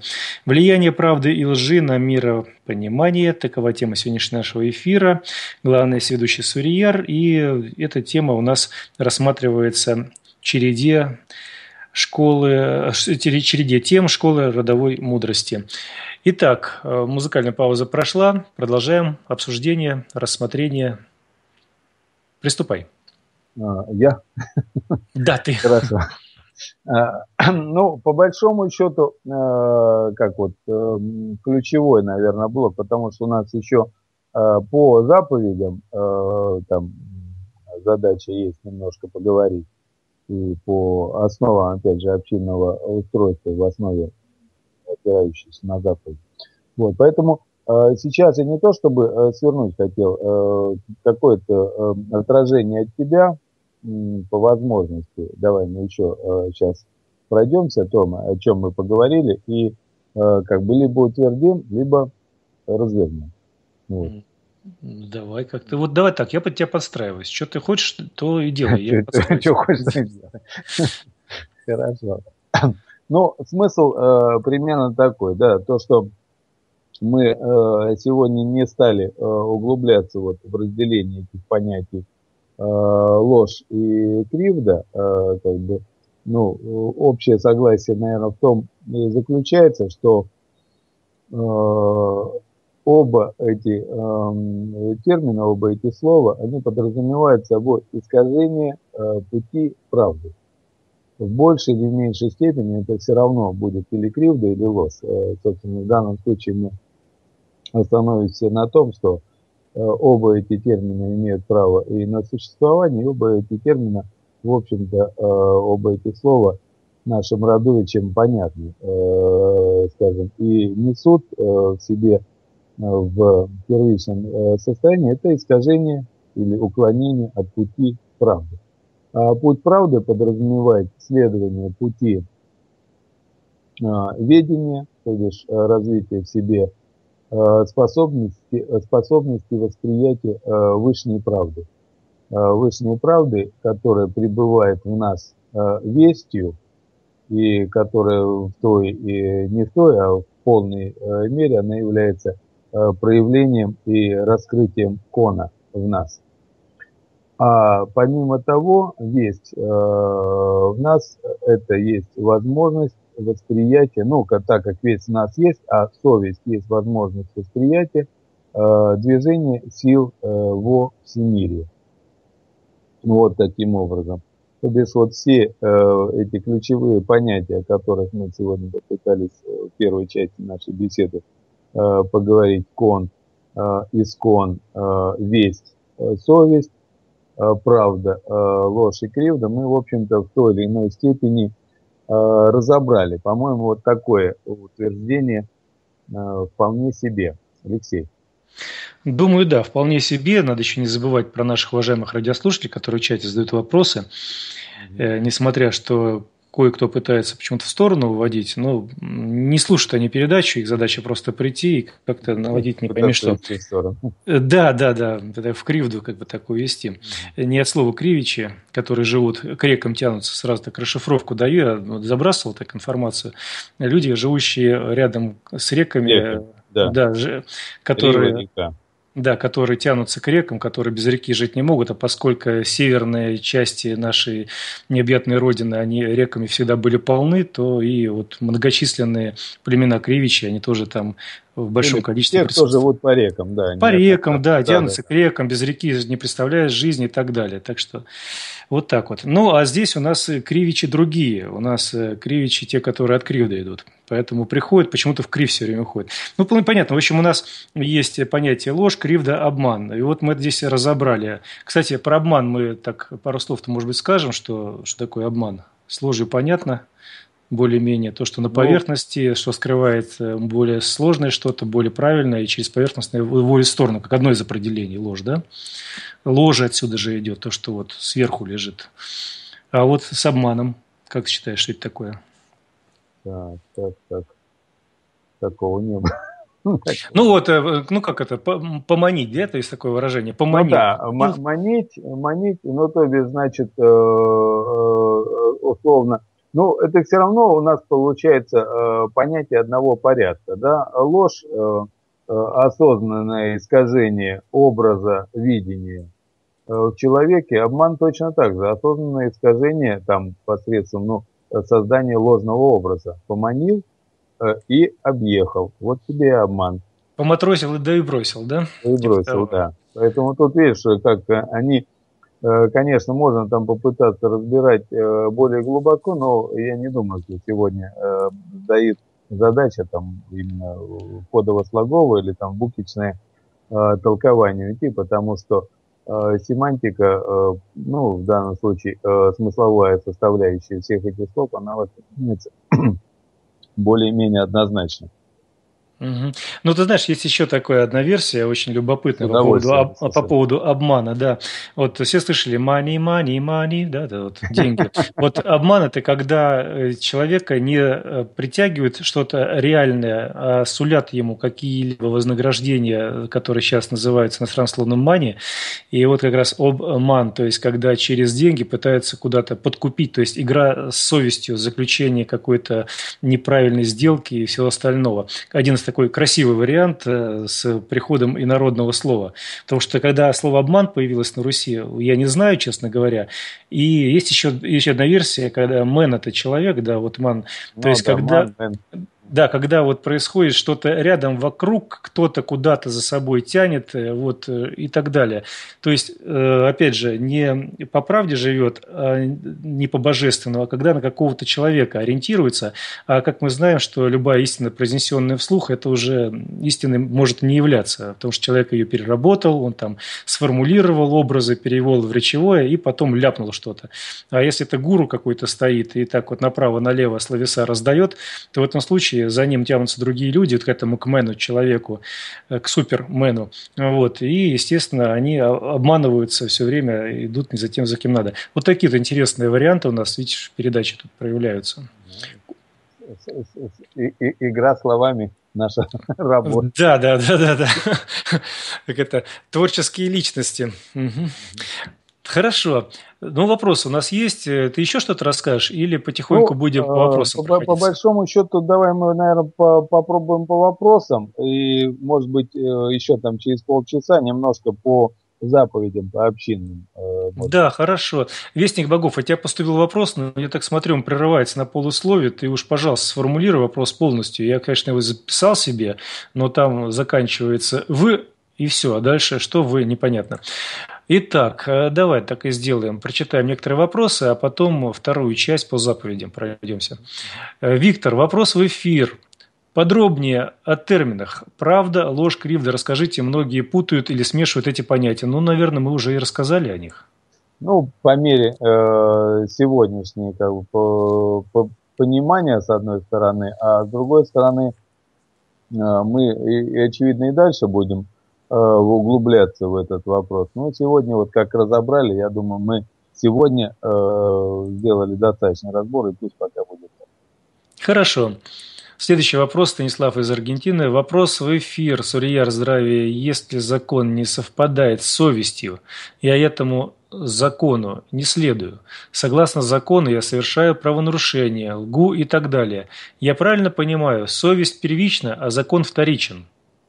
Э, вопрос очень скользкий, выводящий нас сразу там на какую-то на какую-то статью нас выводит. Да, Сейчас да, мы да, тебе что-то порекомендуем, к нам скажет, вот что это тут такое аргентинцу тут порекомендовали, посоветовали. Вот. Но у нас, э, слава богам, э, какая-то толика понимания есть. И сегодня мы разбирали в очередной раз все-таки термин основу нашего миропонимания термин или слово «кон», который в себе несет э, описание, э, там не описание, там обозначение нашего всего, то есть основ нашего события, всемирия, которое проявлено. Вот. И э, как бы неоднократно, я думаю, здесь тоже в, на э, просторах славянского радио звучало там, э, что кон это есть то, что есть, а за коном это то, что в кон не вошло, и понапридумывали люди, которые не в состоянии жить в коне. Поэтому, эм, как там неоднократно мы говорили с Радовичем, да, сначала должны быть прописаны коны по вышней вести, по совести общей нашей, а на основе их уже как бы остальные все правила, в том числе э, и законы могут быть. Почему Э, слышал как-то один из политиков э, задавал вопрос, но он задавал его чисто риторически, как, говорит, надо жить по совести или по закону. А, ответ простой, законы должны быть, если они таковые необходимые существуют, они должны быть изначально написаны по совести. То есть должен быть понятен кон, то бишь основы э, бытия нашего, движения сил во всемире и э, понятие об общем ладе, э, который в этом мире существует. И, соответственно, на сегодняшний день это не так. Э, и э, задача наша, да, в конце концов, проявить весть в каждом из нас в большей степени и на основе этой вести уже выстроить следующее, с одной стороны, миропонимание, а с другой стороны, мироздание на основе тех конов, которые являются основой нашего события. На сегодняшний день на основе там той или иной вести вас прибывающих, ну, э, я не буду подвергать э, сомнению ваш, э, вашу силу там и чистоту вашей совести. Ну да, бывает, что получается, что о, наша весть говорит о том, что тот или иной закон э, несправедлив. Но только от нас зависит, э, чтобы по уровню э, нашей справедливости, по уровню нашего понимания эти законы в конце концов трансформировались и стали соответствующими. А так, да, там можно, конечно, э, как делают э, люди по там даже по искренности своего сердца и прочее, там, пытаясь э, противоречить этим законам, но это не ведет, как правило, на сегодняшний день ни к чему хорошему, потому что э, чтобы э, законы менялись, значит, должны быть проявлены коны. И должна быть воля, сила и направление. Задача наша, да, э, постараться свести э, в недалеком, там, ближнем, может быть, будущем эти законы все-таки в соответствии с конами, как минимум. Так, Алексей? Здесь надо, наверное, еще одну теорию нам рассмотреть по поводу вот закона. Очень часто слышится э, такая версия, очень распространенная, что закон – это то, что вышло законом и является уже неестественным. Но это одна из версий, которая очень часто, да, подтверждается на Я самом примерно деле. так же, да, и говорю. Э, да, но есть еще интересная версия одна. Вот когда, к примеру, идет какой-то человек, прокладывает путь, и идут по его следу, вот они за кем идут? Они идут за этим человеком. То есть «за» – это еще не означает противоречие. И вот если рассматривать, э, также развивать мысль, то первично были коны – Потом люди пытались жить по конам, должны жить по конам, да. но э, со временем что-то меняется, где-то что-то добавляется. Понятие и... о коне слабеет, к сожалению. Э, да, бывает, что-то произошло, и поэтому необходимо к какой-то ситуации э, вносить некую поправку, которая бы, с одной стороны, не нарушала этих конов, но была более понятной и доходчива для людей, живущих вот в данном измерении, в данном ощущении, в данной какой-то ситуации. И тогда появляется дополнение, то есть идущее за коном. Сам кон, он очень тяжеловат, например, непонятен и трудно его применить. Ну, ночь сварога, грубо говоря, наступила, он, потому да? Что, э, тогда реально э, объем немыслимо. Да, да, да, слишком большой. Да. Ночь сварога наступила, и наши слабенькие умишки не способны это все принять. Ну, что делать? Ну, создаются, тогда опускаемся на уровень детского сада и начинаем э, э, в более простой форме подавать информацию. Ну, придумаем сказку «Колобок», где, в которой те, кто ученые, они рассматривают это более серьезно, а дети просто читают сказку «Колобок» там про зверьков, которые пытались скушать этого колобка, и только лисичке удалось. Ну, и про несчастную бабу и детка, которые жили в проголоде, там скребли постоянно и грызли эти непонятно чего. Вот. Э, вот Поэтому надо понимать, что закон – это еще не обязательно выходящее за и становящееся нашим против... для нас чем-то противоречивым. Это может быть следующим за чем-то, за чем-то более серьезным, более мощным, что мы порой не можем ухватить. И если через закон, который правильный закон, по праве, который существует, мы через него можем подойти уже к кону самому. Вот эту версию я предлагаю не откидывать, а просто рассматривать, по совести этот закон или это не по совести закон. И вот еще есть такое понятие правила в современном мире, да, в современном нашем мире, не в той древности, о которой мы говорили. И есть э, законы. Вот есть такое понятие закон физики. Ну, грубо говоря, если человек залезет на 12 этаж без парашюта, без веревки, без каких-то приспособлений, э, нырнет вниз головой э, на камни, с ним по законам физики произойдет нечто Потом его будут соскребать, там, собирать и мыть асфальт и так далее. Закон физики обмануть в данном случае не удастся. Ну, а вот правила... Я... Сейчас, сейчас, закончу. А вот правила, правила, их, э, которые выдумывает человек, всегда можно обойти. Например, есть правила дорожного движения. Там написано, например, что нельзя проезжать на красный свет. Но многие умудряются проезжать, и с ними ничего не происходит. Да, бывают случаи, когда человек разбивается. И тут получается, то, что придумал человек, правила, они людьми и обходятся. А вот, например, попробуй обойти закон мироздания – ну, к примеру, солнышко погасло, да? И все, и что дальше на Земле будет. Или, например, случился взрыв на Солнце, и вот эта вот э, вспышка, она через Землю прошла. Что будет? То есть, есть законы высшего, есть законы придуманные, которые, по сути, являются, ну, если человек человеку что-то придумал, закон так называемый, по сути, это является только правилом. Если один человек придумал, другой обойти может. А вот то, что уже божественный уровень, ну, попробуйте его обойти. Вот для вас это будет уже законом, который невозможно исправить. Вот с этой точки зрения мышления, оперируя современными понятиями, не нашими древними, а современными. Вот об этом тоже можно так вот вскользь пройти, чтобы сказать, давайте мы определимся, мы говорим древними понятиями или современными. Вот, э, чтобы наши радиослушатели сами определились, как лучше, как им больше подходит. Ну, я тут э, не то чтобы уточнение, а так маленькое дополнение э, к твоему. Все-таки Э, ты вот э, законы физики, нам привычно их называть законами, а по сути это все-таки уже коны, потому что они вот безусловны в этом случае. Почему кон как э, некое э, сведение, соединяющее все воедино, э, просто уже движение стихий, по большому счету, то, что вот э, по э, уровню э, курса школьной физики там э, более Э, высших э, учебных заведений, все-таки, э, по сути, они уже являются проявлениями кона. Ну, это просто маленькое, возможно, уточнение. Ну, хорошо, главное, что мы друг друга понимаем. Я надеюсь, наши... Мне главное, а, мне интересно, а, да, а я, так мне интересно, да, а нас-то вообще понимает. Вот мы с тобой сидим, так лопочем о чем-то, да, таком, разговариваем о высоких материях, умничаем как-то там. А вот интересно, так то, что мы говорим нашим радиослушателям-то вообще понятно? Слава богам, как я понимаю, все-таки большая часть понятна. И э, благодаря, во-первых, отражению тебя, ну и попытками более глубокого погружения, там, сужения темы более-менее излагаемые, так думаю.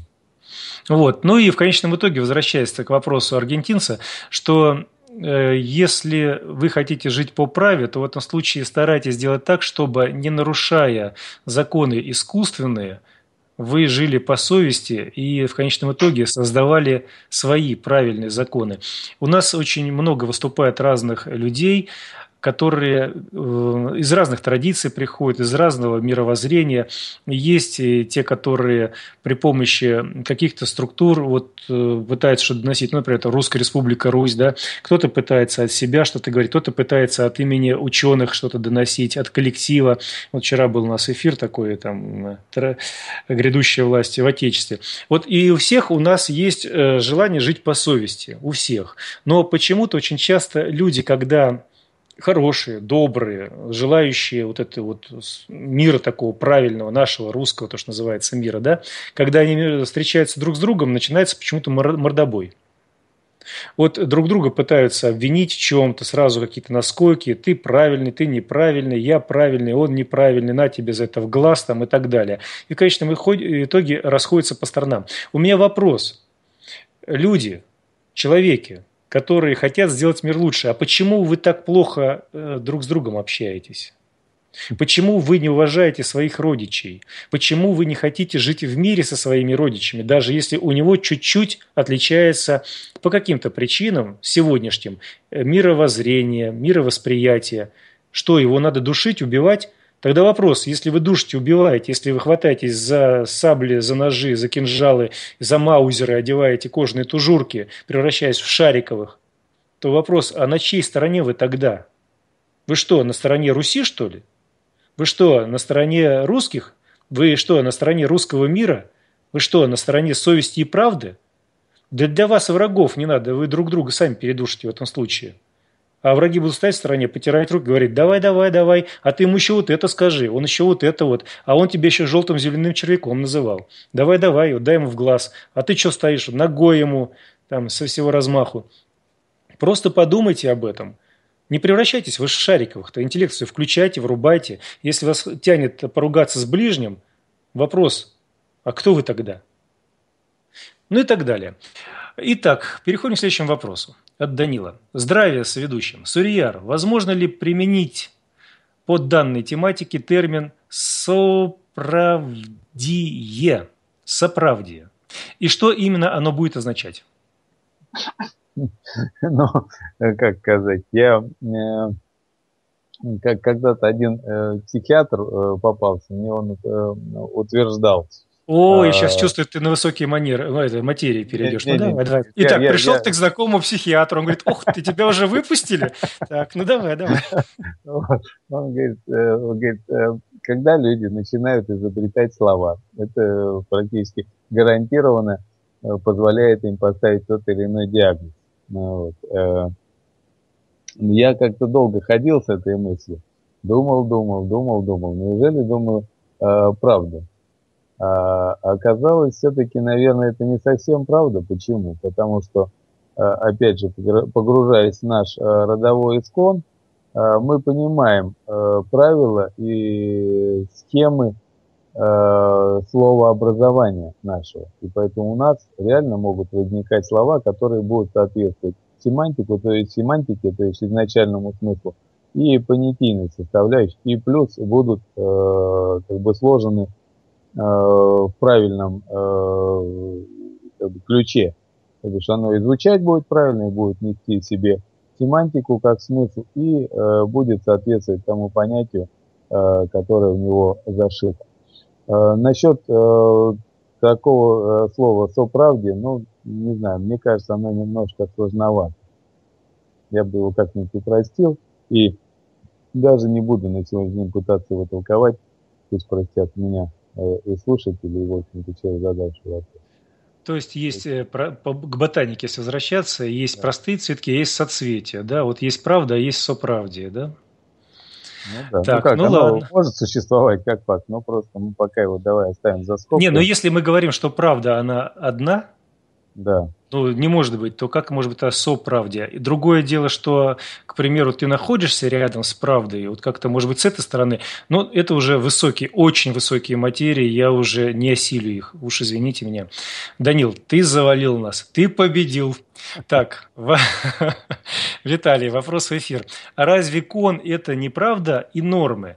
Правда – это прав, да, где правь – это высший мир светлых богов. Да, это знак согласия. Ну, то есть согласны с миром высших богов. Таким образом, правда – это согласие или лад с высшим миром, с высшими мирами светлых богов. Вот такое повествование, такое ну, направление. вроде не противоречили и такому толкованию в том числе. Э, да, абсолютно. В нашей беседе, да. Не то слово, мы же двумя руками за. Мы же всегда говорим, вот все, что связано с нашими э, пращурами, которые, в общем-то... Кстати, вот, э, смотри, как интересно получается. Если уж мы коснулись, то вот постоянно там касаемся э, нашего наследия, нашего прошлого, э, многие начинают, э, так, кто-то в шутку, кто-то всерьез говорить, что там привязались к каким-то там пращурам древности, э, там, к богам каким-то, э, вы там сектанты, ну и так далее. Я говорю, ну, во-первых, никакой секты нет, потому что это не религия, религия, ну, лично я, вот я от себя сейчас говорю, не от всех, а именно от себя. У меня нет какого-то там учителя или какого-то гуру. Я просто изучаю нашу древность. Вот просто так вот изучаю нашу древность. Мне интересно знать, как жили мои родичи, как жили родичи э, с моими рядом родичами, да, вот как вообще жили наши рода. Мне это интересно.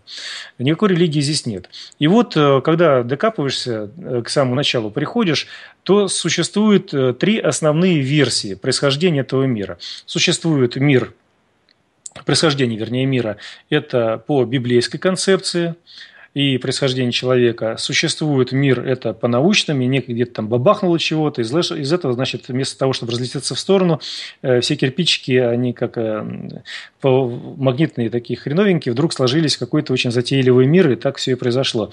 И третья версия, что создавали ее наши древние пращуры, которые сейчас находятся на уровне богов. То есть так, так все умели поставить и разложить, так умели все создать, что вот так все и образовалось. И тогда стоит вопрос, вопрос. Но если наши предки, боги, затеяли весь этот мир, затеяли все вот это всемирие, да, создали земли, то, что сейчас планеты называются звезды, солнце, там, метеорит, ну вот все, что мы видим, не видим, можем потрогать, не можем ощутить и так далее. Ну, наверное, они знали, помимо того, как сложить, еще как должно функционировать и к чему должно прийти. И если мы пытаемся как-то куда-то отбиться в сторону, ну, вопрос, не делаем ли мы себе медвежью услугу, Вместо того, чтобы двигаться по тому пути развития, который естественно для нас, мы все время пытаемся куда-то в сторону уходить.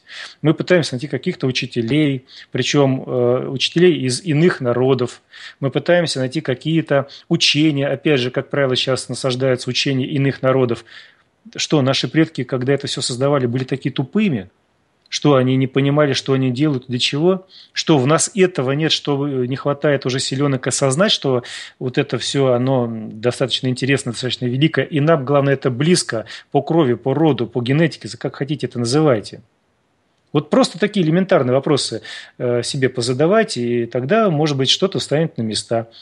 И уж предавать тех мудрых, э, кто является нашими предками, это вообще сверхглупость потому что предательство на Руси всегда считалось высшей степенью ну, гадости. Отступничество. Отступничество, предательство. Пути предков, это, да. Да, предательство, оно всегда вело к самому-самому худшему, что может быть. Вот просто мозгами пораскиньте без разрывной пули, как говорил Штирлиц, и все станет на свои места. Может быть, тогда как-то улягутся какие-то страсти, и мы начнем разбираться э, с тем, кто мы есть, что мы есть, и вообще, куда нам надо идти, что нам близко. Такой вот э, глаз вопиющего в пустыне. Друзья, включайте здравомыслие. Давай мы прервемся на короткую музыкальную паузу. А вернее, давайте так, э, сколько, поскольку уже скоро 9 мая, и многие отмечают этот день, и это праздник с слезами на глазах, то у нас рубрика такая есть э, на войне как на войне она называется. Напомню, наши соратники пишут тексты, собирают какие-то, какую-то информацию, обрабатывают, записывают. Я немножечко свои силенки прилагаю к этому делу. И вот давайте послушаем э, одну из таких небольших записей на войне как на войне.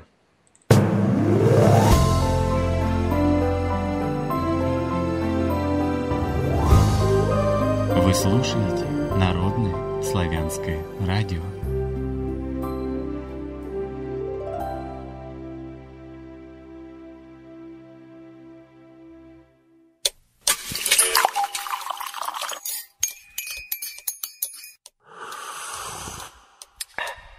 Продолжаем разговор.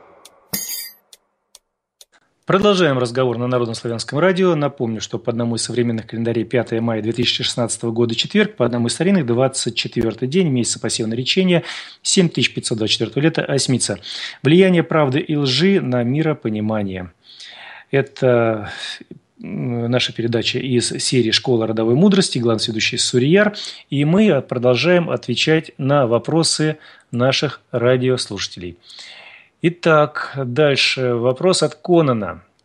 Как прописывается человек в мире яви?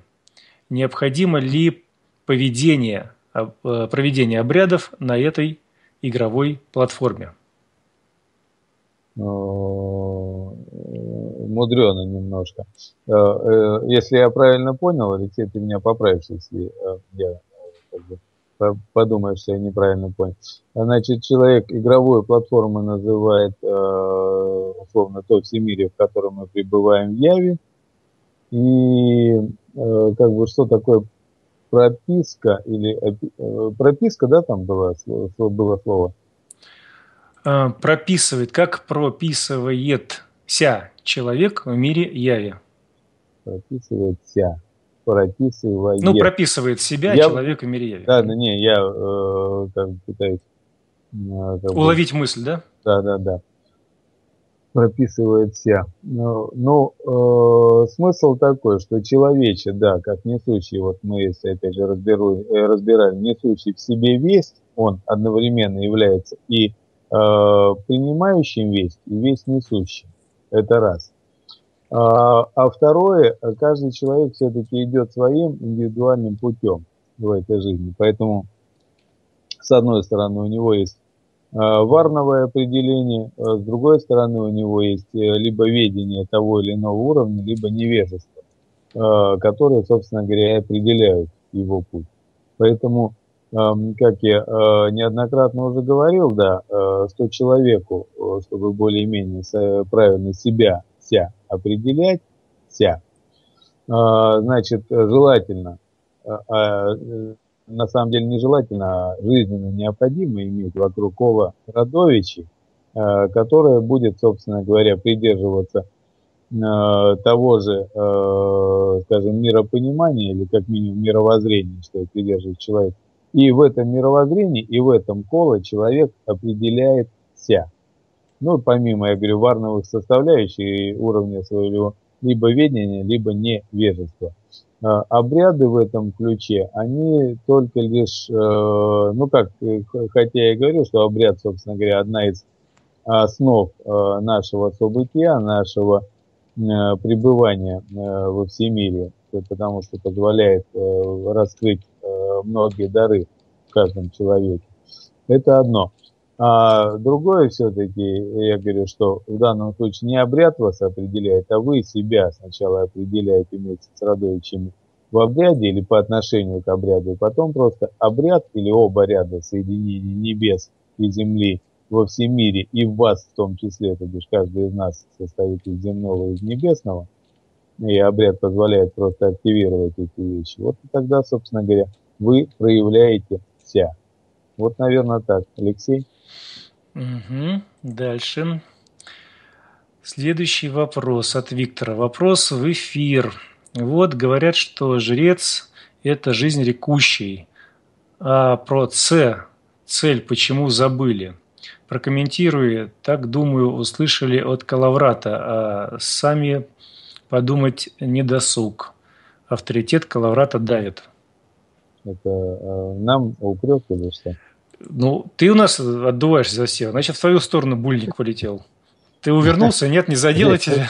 Ну, ты вроде заметил, как я ловко увернулся.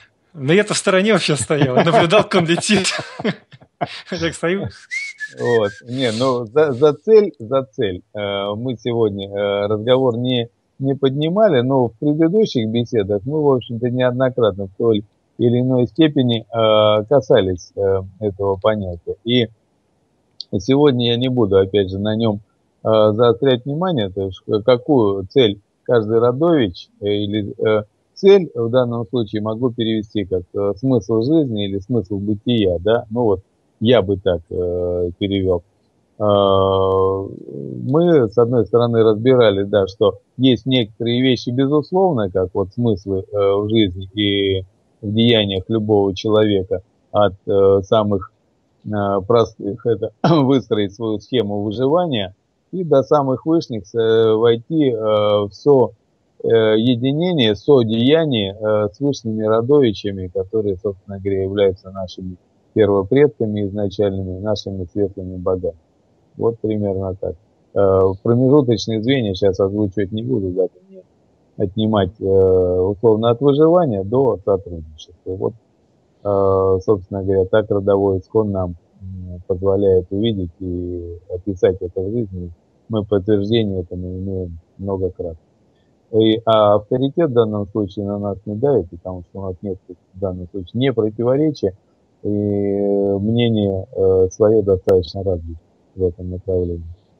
Дальше вопрос к тебе, но поскольку ты чата не видишь, то, наверное, я даже не знаю, как ты будешь в данном случае выкручиваться от Виктора. Вот, э, к, да, вот к примеру, кирпич уже полетел. Вот, к примеру, здесь появился Конан и стал свои измышления нам приписывать. Как таким отвечать? Ну, то есть появился человек, и он стал э, что-то говорить, что вы такие, сякие, розетокие и так далее. При этом он не спрашивает, а вы такие? Или вы сякие? Нет, там идет утверждение, что вы такие сякие. И вот Виктор спрашивает, как на его измышления, на его личные измышления, которые он сам придумал, сам озвучил, сам всем, всех уже и покрыл этим делом, оплодотворил, так можно сказать, во всех смыслах этого слова. Как с такими людьми общаться, как им отвечать, чтобы никого не обидеть и драки не затевать? Ну, э, как бы стараться никого не обидеть, это дело, конечно, правильное, э, но Тут э, как бы есть два таких момента, на которых, наверное, можно подскользнуть. Потому что когда ты э, стараешься все время никого не, не, не обидеть и принимаешь все э, возможные мнения на свой счет или еще что-то, то в конце концов э, как бы у тебя даже исчезнет возможность проявить правду в себе. Это раз. А другой э, момент, э, то, что вот э, Алексей уже сегодня издевался, что да, нам все равно надо учиться друг с другом учиться разговаривать, правильно собеседовать. Почему у нас и тот, и другой момент, как бы, и развлечения э, у большинства все-таки, пусть меня простят наши родовичи, он достаточно слабоват. И э, умение друг другу относиться доброжелательно, благожелательно у нас тоже хромает очень сильной степени. Поэтому э, появился человек, э, есть у него э, некое мнение. Если он не, не пышет злобой, не пытается, извиняюсь за выражение, всех закидать какашками, ну, пусть э, как бы выскажется, может, наболело у человека. Но э, надежда-то как раз в другом, что, может быть, э, ему удастся в какой-то степени, с одной стороны, поделиться тем, что у него было наболело, и оно пройдет, а с другой стороны, может быть, он э, продвинется по пути какого-нибудь большего ведения и выйдет из степени невежества. Поэтому э, я его не, не хочу быть ни э, судьей для него, не хочу быть, э, опять же, э, среди тех, э, у кого э, есть право, э, допустим, этого человека осуждать. Потому что у меня есть свое мнение – у него есть свое, условно где-то э, в очной там или прочие беседы мы могли бы разобрать, я надеюсь, мне удалось бы донести до него некоторые более глубокие уровни понимания, и, скорее всего, мы бы, э, так сказать, пришли к какому-то общему мнению. Но, опять же, это ни в коем случае не навязываю. По опыту общения там сотнями тысячами людей, в общем-то, э, имеем подтверждение, что, э, слава богам, что уровень понимания у нас, в общем-то, достаточно неплох. Алексей? Угу. Здесь такие реплики. Да, детский сад, чей авторитет круче. А я знаю, как отвечать. Молодец. И по головке погладить. Я вот что скажу. Э, я думаю, что э, накидываться на известных людей – это самое-самое последнее дело. Это похоже, знаете, как в басне Крылова «Слон и моська». Э, вопрос, а что ты сделал для своих родов, что ты сделал для России, что ты сделал для Руси, что ты сделал для русских людей, что ты вообще сделал для человечества хорошего-то? Хаять кого-то – это самое-самое примитивное, самое тупое, это уровень Шарикова. Вот что хочешь. Хочешь фамилию, там, изменяя этого человека, смейся, хихикай. Но это показатель того, что ты умеешь изменять фамилию. Великая ли заслуга? Э, серьезно ли умение? Поможет ли это умение и эти, в кавычках, знания сделать мир лучше?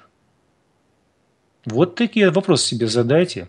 Если вы поймете, что это всего лишь навсего э, детский уровень искажения чего-либо и рифмования э, горшки, вершки, сиськи, письки, то в этом случае, ну, тогда и ваш уровень точно такой же.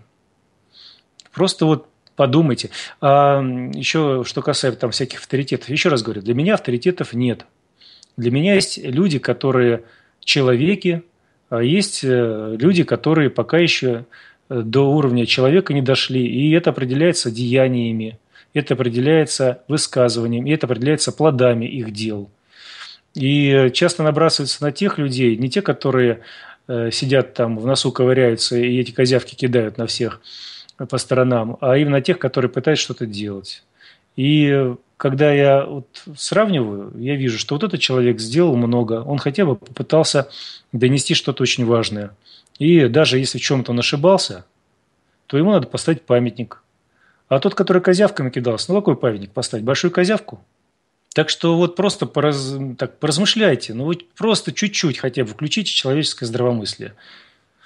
Так, вопросы продолжают к нам поступать. Э, может быть, мы сейчас прервемся и дадим определение заповеди, чтобы потом вернуться к вопросам. Как ты думаешь? Ну, хорошо, но тут не вопрос э, дать определение заповеди. Я просто сегодня хотел э, немножко коснуться вот э, того момента, что у нас есть, с одной стороны, заповеди изложенные во множестве пунктов э, в тех или иных э, книгах, которые э, читают последователи родового обычая, там, славяно-арийские веды, и исконы родовые, и там книги волхвов в той или иной степени.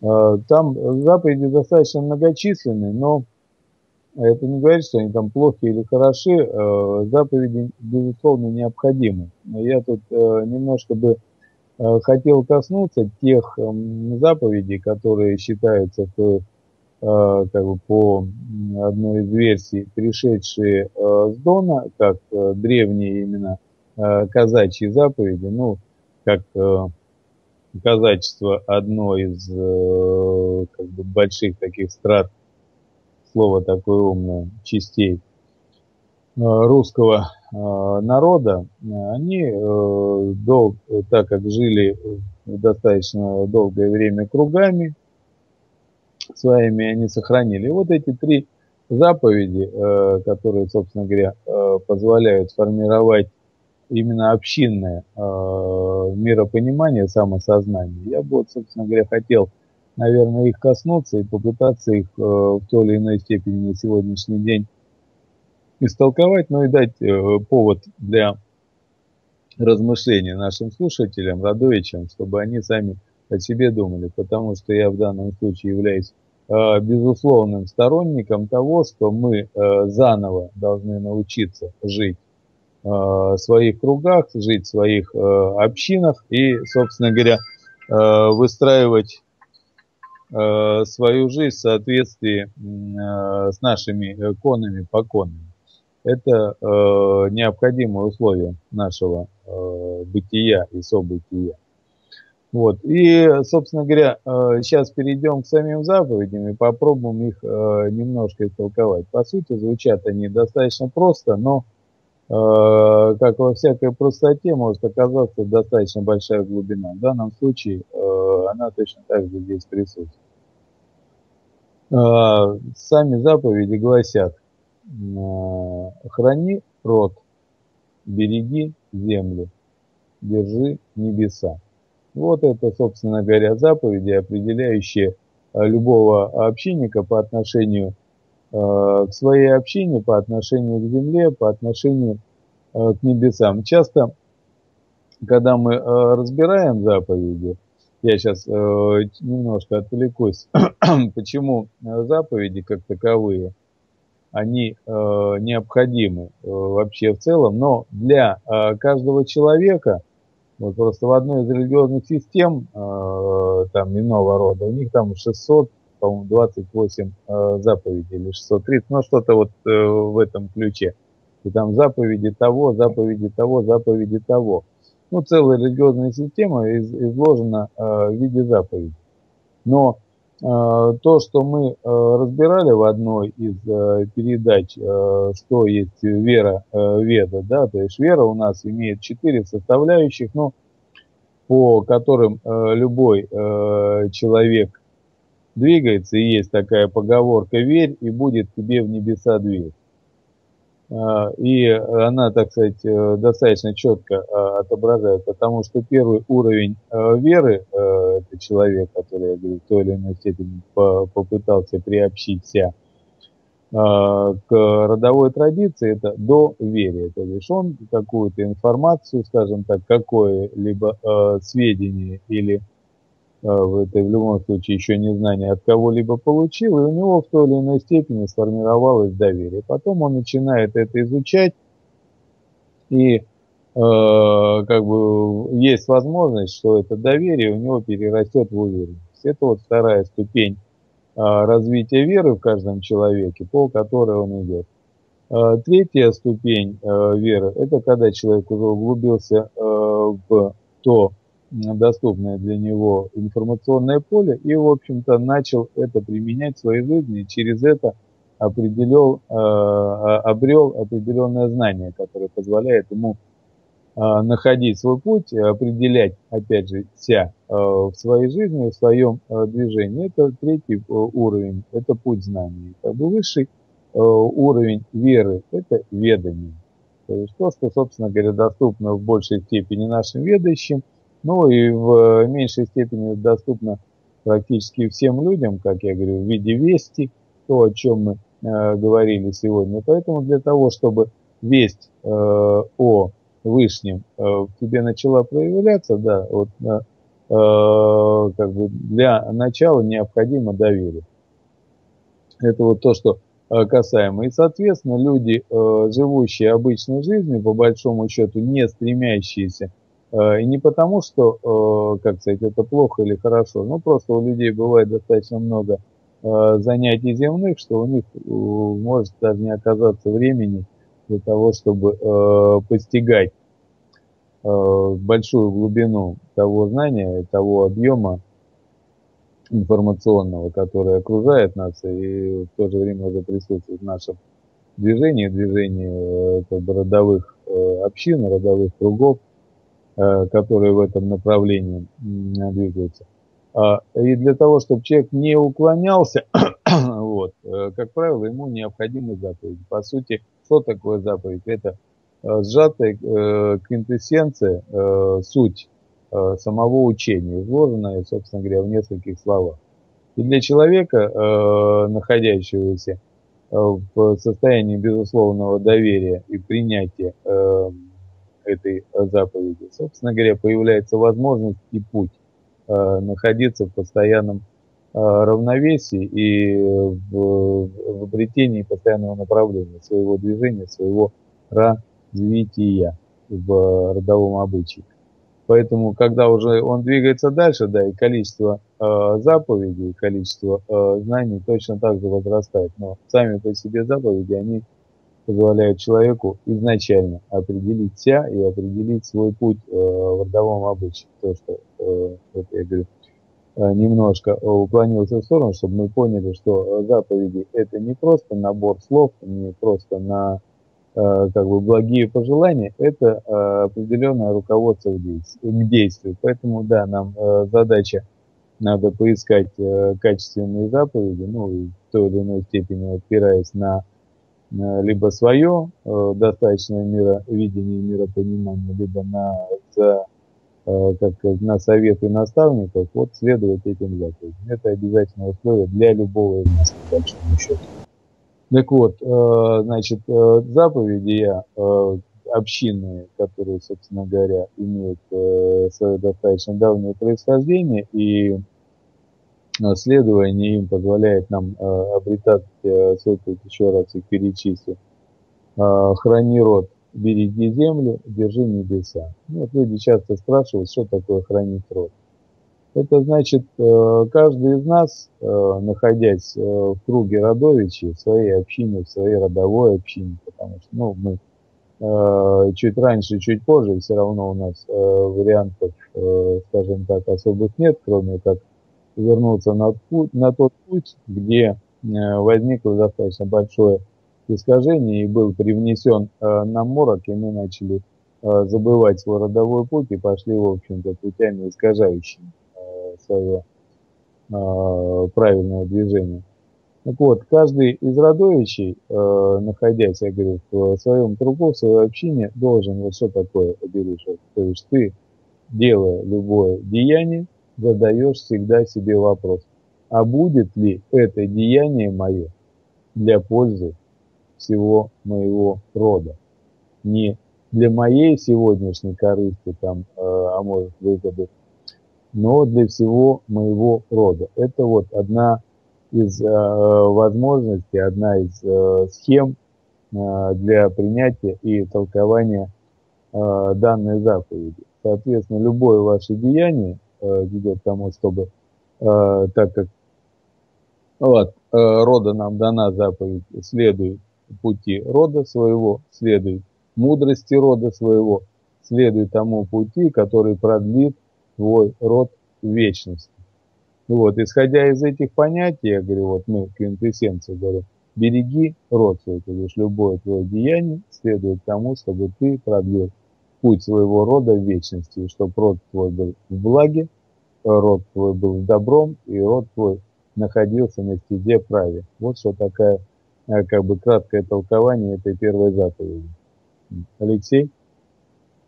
Э, ну что, Алексей, ты толкуешь, я слушаю. Не, не я просто, может, ты дополнить хочешь, нет? Да дополнить я могу только тем, что скоро музыкальная пауза через минуту. Ага. А остальное я ничего добавить не хочу, все хорошо. Ну тогда давай мы перейдем на музыкальную паузу, потому что э, так на коротки не, не рассказывать, а после паузы Хорошо, в чате была просьба поставить Тутанхамона в исполнении Наутилус Помпилиус. Ну давайте послушаем. Заметьте, музыка длинная, Не я ее предложил.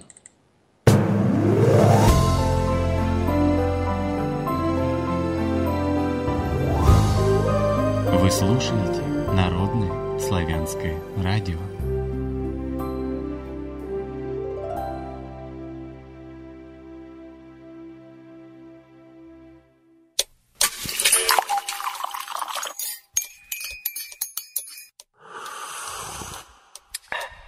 Продолжаем разговор.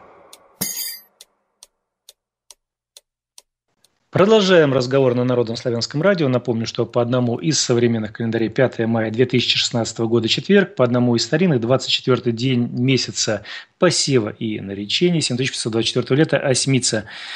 Влияние правды и лжи на миропонимание – такова тема сегодняшнего нашего эфира, главный ведущий Сурияр. И мы сейчас говорим про заповеди. Пожалуйста, продолжай. Хорошо, продолжаем.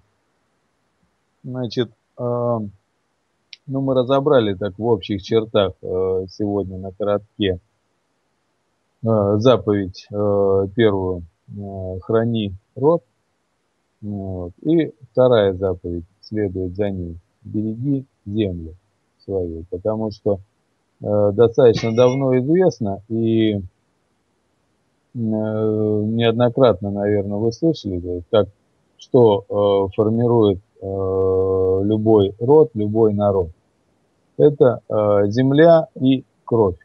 Э, часто используют вот, э, такое определение. Я бы все-таки тут добавил Э, еще э, к земле и небеса, но об этом мы сейчас э, и говорим постепенно, развивая, раскрывая одну за другой заповедью.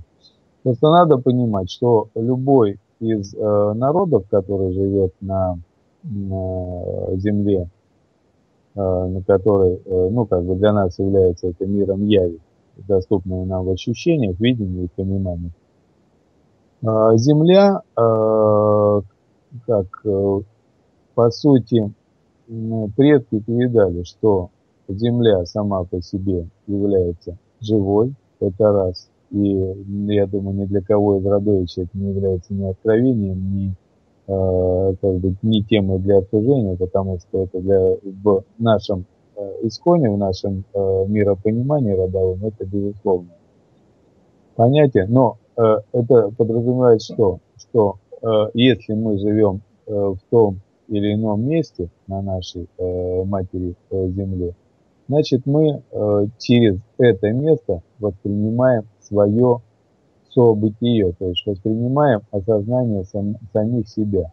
И вот эта связь, которая длится там столетиями, тысячелетиями, она формирует совершенно четкий ход совершенно четкое э, миропонимание, потому что, я говорю, для нашего миропонимания есть все-таки э, две основы. То есть то, что формирует, это та сила, та мудрость, та веда, э, в том числе, э, которую несет в себе Земля, и э, та мудрость, ту, которую собирают ведающие в наших родах, которых понятие о вести, э, безусловно, все пронизывающее, все собой наполняющее, э, развито достаточно сильно, что они эту мудрость способны передавать э, в свои роды. Вот эти две составляющие, весть земная и весть небесная, скажем так, они, собственно говоря, составляют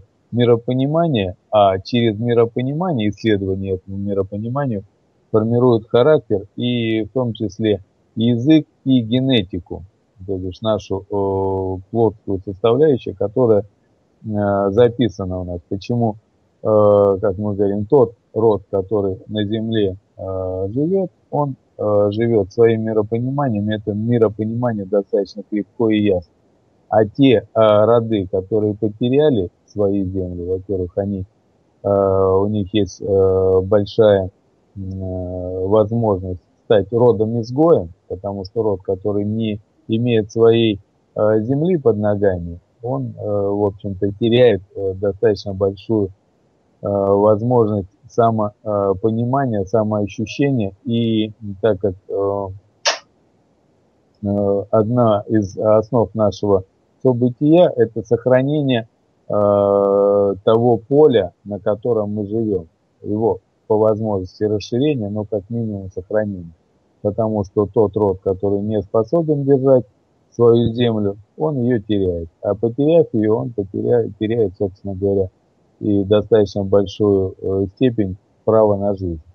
Поэтому э, сейчас э, во многих беседах, э, общаясь с Радовичем, я говорю, не забывайте о том, что э, одна из основных задач мужского населения вообще всех Радовича, там, мужского и женского пола, это сохранение своей земли, сохранение ее э, рождающих, возносящихся, сохранение ее как место того бытия, где рождаются и сохраняются наши роды. Потому что если этого нет, то есть очень большой шанс, что э, и нас не будет. Потому что мы знаем, что достаточно много э, славянских э, племен перешли э, на другие земли. И, собственно говоря, сейчас э, никто не знает уже, где эти роды растворились. Где-то в Африке, э, где-то в Европе, где-то в Азии. Вот. И только мы, сохраняя, э, сохраняя и принимая вот на себя ответственность за свою землю, в той или иной степени э, смогли сохранить.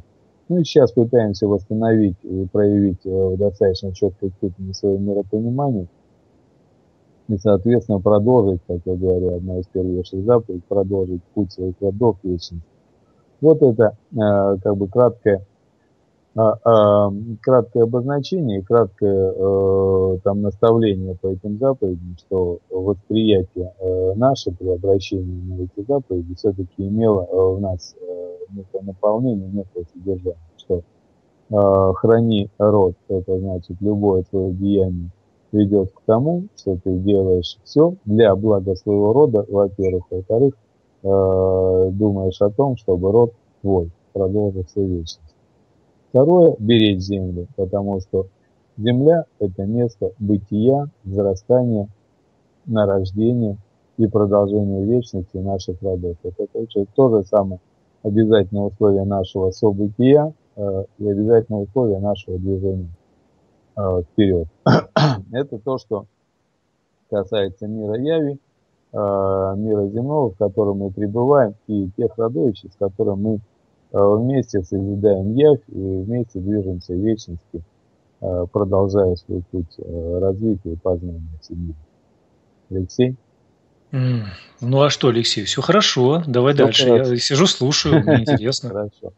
Хорошо. И э, заповедь э, третья, которая, как правило, большинство э, людей, не знакомых ни с обрядовыми, ни с духовными практиками, э, ставит э, в определенный тупик держать небеса. Что такое, говорит, держать небеса? Что за э, там чуть ли не ахинея э, задает вопрос.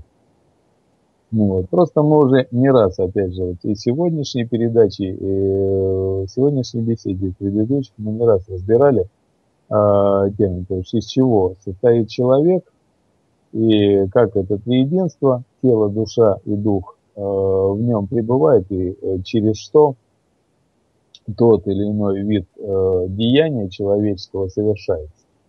Так вот, помимо того, что в каждом из людей пребывает вот эти три, три единства составляющих, точно так же в любом роду и народе существует дух самого народа. Вот, собственно говоря, это и есть, э, скажем, определенная часть наших небес. Почему? Потому что э, когда каждый из нас имеет э, свою выделенную частицу единого духа и как бы ее созидает, ее пытается воспринимать там через весь, через свое деяние, точно так же соединяясь, мы, э, скажем, божественно проявляем в себе, ну, имеется в виду, э, в круге Радовича в значительно большей степени. Это и есть э, возможность, с одной стороны, соединиться в небесах, во-вторых, э, напитать и развить дух не только свой, но и дух своего народа. Это и есть, я говорю, часть того, что мы называем держать небеса. Так вот, если народ занимается этим, развивает свою духовность, слово многих для многих не до конца понятно, потому что мы, не помню, какой-то из бесед разбирали, мы не разбирали там это духовность. Ну, сейчас, может быть, коснемся на коротке. Значит, этот род развивает свою возможность взаимодействия с высшими небесами. А высшие небеса, то есть сварга, золотая, как часто, или светлая навь, опять же, из разных э, изложений, это как раз э, место прави, по большому счету, то, откуда э, направляется движение всей жизненной силы, всей живы во всемирии. Ну вот, и если, как мы говорим, если в себе мы настраиваемся на весть, то она э, в нас становится более явно проявлена. Если мы сообща настраиваемся на э, взаимодействие с божественным планом или с, со светлыми родными э, богами, то, значит, э, эта возможность у нас появляется и многократно увеличивается. И как э, издревле говорится, э, тот род, который потерял связь с небесами, мертвый род. И это не фигура речи, это так и есть. Почему? Потому что свет в таком э, роду начинает ослабевать, и, собственно говоря, тьма, как и любого родовича, потерявшего связь с вестью небесной, она в конце концов поглотит. Поэтому основная задача, вот, вот три единства задач, трех заповедей изложенных, продолжить свой род вечности. Но тут не просто продолжить, а напитать его э, при общении с высшими небесами все большей степенью живы и все большей степенью ра, все большей степенью света. А, вот э, примерно такое краткое изложение на сегодняшний, соответственно, с форматом нашей беседы, потому что это не на один час, опять же, разворачивать, но Э, просто предоставляется каждому из родовичей немного э, своя возможность подумать и по, по мере своего думания, может быть, задать в перспективе там, в будущем какие-то вопросы, ну и получить на них, я надеюсь, адекватные от нас ответы. Алексей? Хорошо, хорошо. Ну что ж, дальше продолжим. Блиц-опрос. Да. Вопрос в эфир от Олега из Иркутска. Здравия, Суриеру. Распространено выражение в народе. Хочешь, чтобы тебя сетиха ненавидели? Делай три вещи. Говори правду всем и постоянно. Вопрос. Если правда вшита а богами... А треть, а треть это где здесь? Нет. Ну, говори правду всем и постоянно. А, все, все. Не просто говори. А каждому. А ты слышал правду? Я тебе расскажу. И как дашь еще хорошо бы, чтобы это подтверждалось еще такой увесистой рукой. Вопрос эфир. Если правда вшита богами в основе мироздания является вшитым коном, ориентиром для развития в сторону света, то почему такое, такая проявляется антипатия у многих людей внутри их сообщества в разные времена существования человечества? Что это проблема? Упадка нравственности, зависимость правды от наличия совести, других качеств в отдельном человеке, или все-таки важна не сама голая правда, а благая мотивация в применении лжи, правды, кривды к месту и ко времени, так как, по моему мнению, все эти три термина нельзя воспринимать как абсолютно, абсолютное добро и зло. Благодарю. Ты что-нибудь понял? Ну, я попытался уловить общую мысль. Э, Хорошо. Как бы, слава богам, что э, даже предложение больше пяти слов я э, более-менее... То есть еще, по, еще пока улавливаешь, да? Да, да. Вот, э, сейчас, ну, ты, ты держи перед глазами текст, потому что где я за это самое, ты меня дополнишь. Э, смысл э, примерно в чем? Мы об этом уже сегодня касались, что привычка наша, да, она ведет нас э, к искажению, потому что корысть сегодняшнего дня говорит нам о том, что вот сделаешь сегодня так, ну, имеется в виду, покривишь немножко душой или там обманешь или э, исказишь правду э, своей ложью, а ну, завтра как, как-нибудь повернется. Ну, в краткосрочной перспективе это работает. Скажу вас так, не буду э, вас э, разочаровывать, если вы э, сторонник подобного пути. Но в какой-нибудь более-менее долгосрочной точно так же есть кумулятивный или накопительный эффект. Значит, ваша ложь, в конце концов, перевернет вашу правду настолько, что у вас э, особых шансов не будет.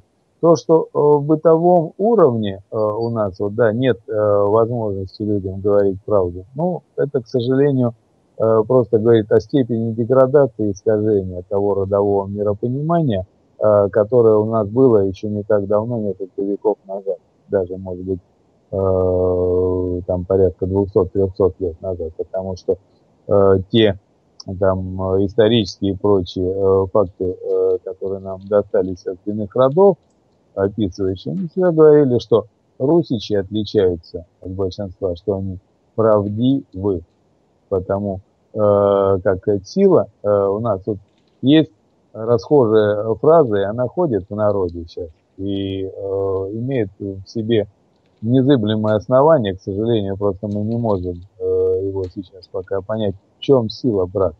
Так вот, сила правде. Почему? Потому что э, если ты перестаешь лгать, если ты перестаешь искажать э, действительность, начинаешь выходить э, на уровень э, безусловного следования правды, то, к чему я э, в той или иной степени сейчас вас призываю, потому что понимаю, насколько это трудно, вот, тем э, большая сила в вас проявится. А, э, как сказать, но так как, опять же, большинство людей, идущих э, сейчас вне родового обычая, потому что еще не все э, присоединились к нам, они исследуют тем, тем путям, которым э, их э, научили. Ну вот, и все. А если вы будете на них равняться, то это тоже ваш выбор. Но э, запомните, что не они несут э, ответственность за ваш выбор, а вы сами. Поэтому нет, э, условно, э, той э, лжи во спасение или там э, обмана во благо. В конце концов, э, все ведет просто наша слабость на сегодняшний день в неумении принятия, не, в неумении принятия правды. А, и, и наша слабость в неумении ее говорить. И мы, мы будем этому учиться. И это безусловно так, потому что утро сварога, оно подразумевает, что все темное в свете Сурьи, солнца нашего, оно исчезает. Вот такой ответ, Алексей. Хороший ответ. Хороший ответ. Давай дальше. Ингварь, следующий вопрос в эфир. А шаман тогда кто? Ну вот помнишь там, где ман мы говорили, да, вот ну, обман. Аман и шаман. Да, да. Ну, понятно, что не синоним, но а шаман тогда. Ну, ладно, шутка шуткой. Могут быть и дети, как говорил ну, один шаман, шаман просто по большинству как бы мнений э, филологов, там исследователей, все-таки слово имеет э, под собой э, сибирское происхождение, и оно все-таки, может быть, не имеет изначального э, какого-то слогового наполнения именно славянского или русского. Ну, так я скажу. Алексей? Угу. Угу. Ну да, здесь приставочка ша, если внимательно разобраться, да, да, да, са потому... и так далее. То есть да, человек, который, который умеет с чем-то таким работать. Ша что... это сила, шакти, если вот ведически Да, да, да. Если вот так разобраться, человек, который, именно человек, который способен обращаться к силе или управлять, или погружаться в некие силы. Ну, то есть так очень упрощенный вариант. Поэтому шаман да, слово есть. Смыслово вполне, да, как бы попадает. Mm-hmm. Я говорю, я не буду настаивать.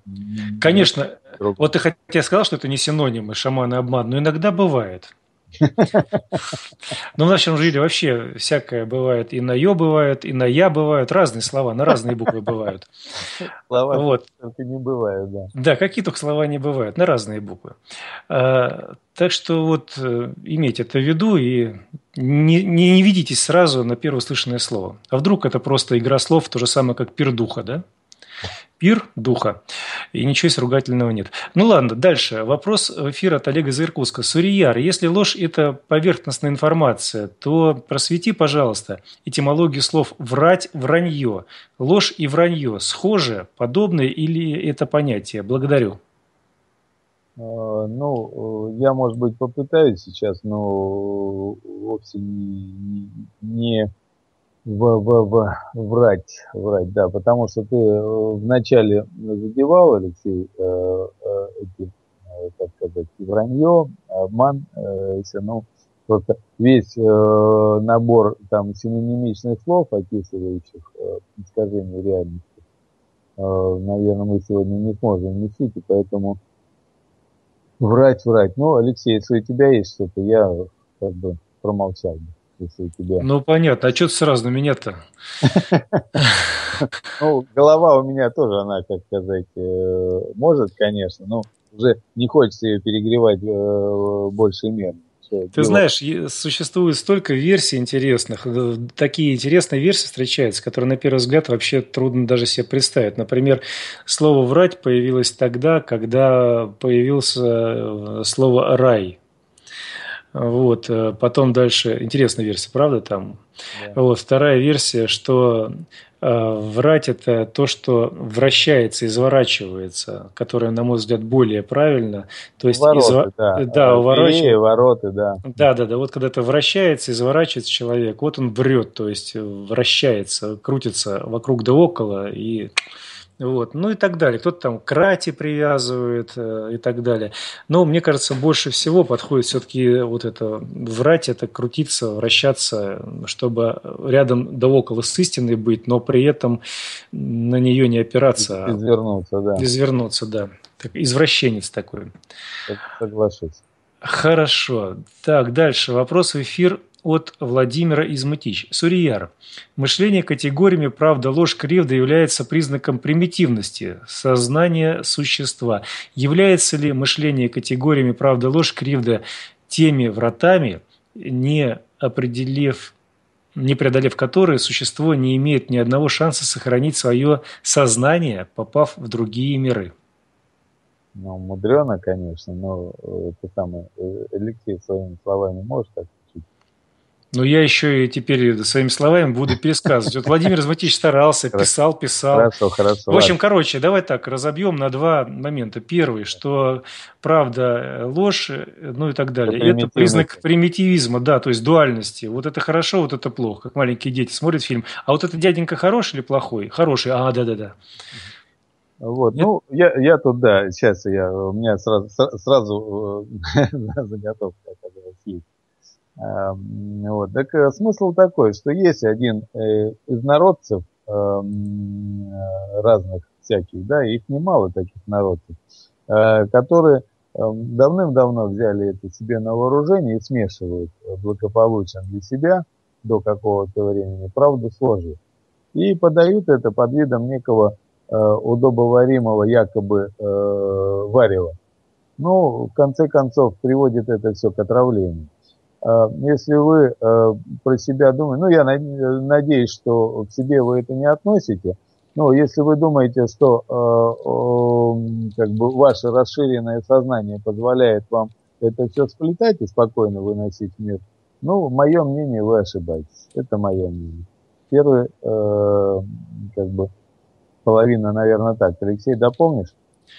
Нет, дополнять не буду. Вторая половина это сводится к тому, что не является ли вот такое мышление категориями, э, некоторыми воротами, через которые нам необходимо протиснуться, чтобы расширить. Не держивает ли нас это, вот дуальность такая? Может быть, пора как-то расширить это все, выйти? Условно, э, вот э, рождается ребенок, да, сажают его в песочницу, дают ему формочки и делает он куличики. Получается куличик, хорошо идет дальше. А, вопрос такой, что, как сказать, э, все, вся ли э, вышняя правда нам открыта? Конечно нет, на сегодняшний день. Ну, точно так же вы, идущие путем постижения, если вы идете этим путем родовой традиции, можете часть Э, высшей правды проявить через себя. Почему нет? Вы точно так же расширите общее миропонимание, но э, я не думаю, что э, свет и тьма, э, там, э, созидание и разрушение от этого перестанут существовать.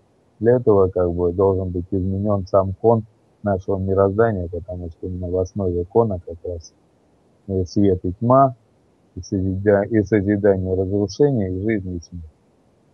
Алексей? Угу. согласен с тобой, что так или иначе некий дуализм как ориентиры необходим человеку, но заключать все в этот дуализм, в некие строгие категории, невозможно точно так же, как невозможно радугу уместить вот в то количество цветов, которые рисуют дети. Угу. Поэтому, если человек здравомыслящий, если он развитой, если он живет по конам и живет в ведании, он прекрасно понимает, что дуализм – это всего лишь навсего ориентиры. Категории – это всего лишь навсего ориентиры. Но мир намного интереснее и намного богат, нежели вот эти ориентиры могут э, его представить. И поэтому дальше идет расширение. Расширение сознания, расширение представлений и ведание, понимание этого мира, какой он есть, без вот этих вот ориентиров, границ и всего остального. И начинается Если уже тогда... ты человек ведающий, тогда тебе путь, э, безусловно, виден. Да, да, да. Но а, начинается, а, вот начинается постижение с каких-то ориентиров. Вот цель. Как я сказал, это как доверие, да, это принятие первых каких-то понятий. А потом ну уже... да, да, да, да. Или, или так, что вот мы находимся в точке А, в, в точку Б нам надо прийти. Ну это же дуализм. Но ведь за время пути сколько проходящих ориентиров может быть. Вот там свернешь около этой березы, там будет канавка, и перейдешь через нее, там и так далее. Там пробежит хромой заяц со всеми признаками какого-то там гепатита печени, да, вот значит тебе надо налево повернуть и, и так далее. То есть ориентиров может быть много, они могут быть дуальны, могут быть не дуальны, но так или иначе они все равно присутствуют. И исключать себя из вот этой трехмерности в данном виде, пока мы в трехмерном мире существуем с четвертым измерением времени, э, наверное, это не совсем правильно. Но расширять сознание, развиваться, вот какая наша цель.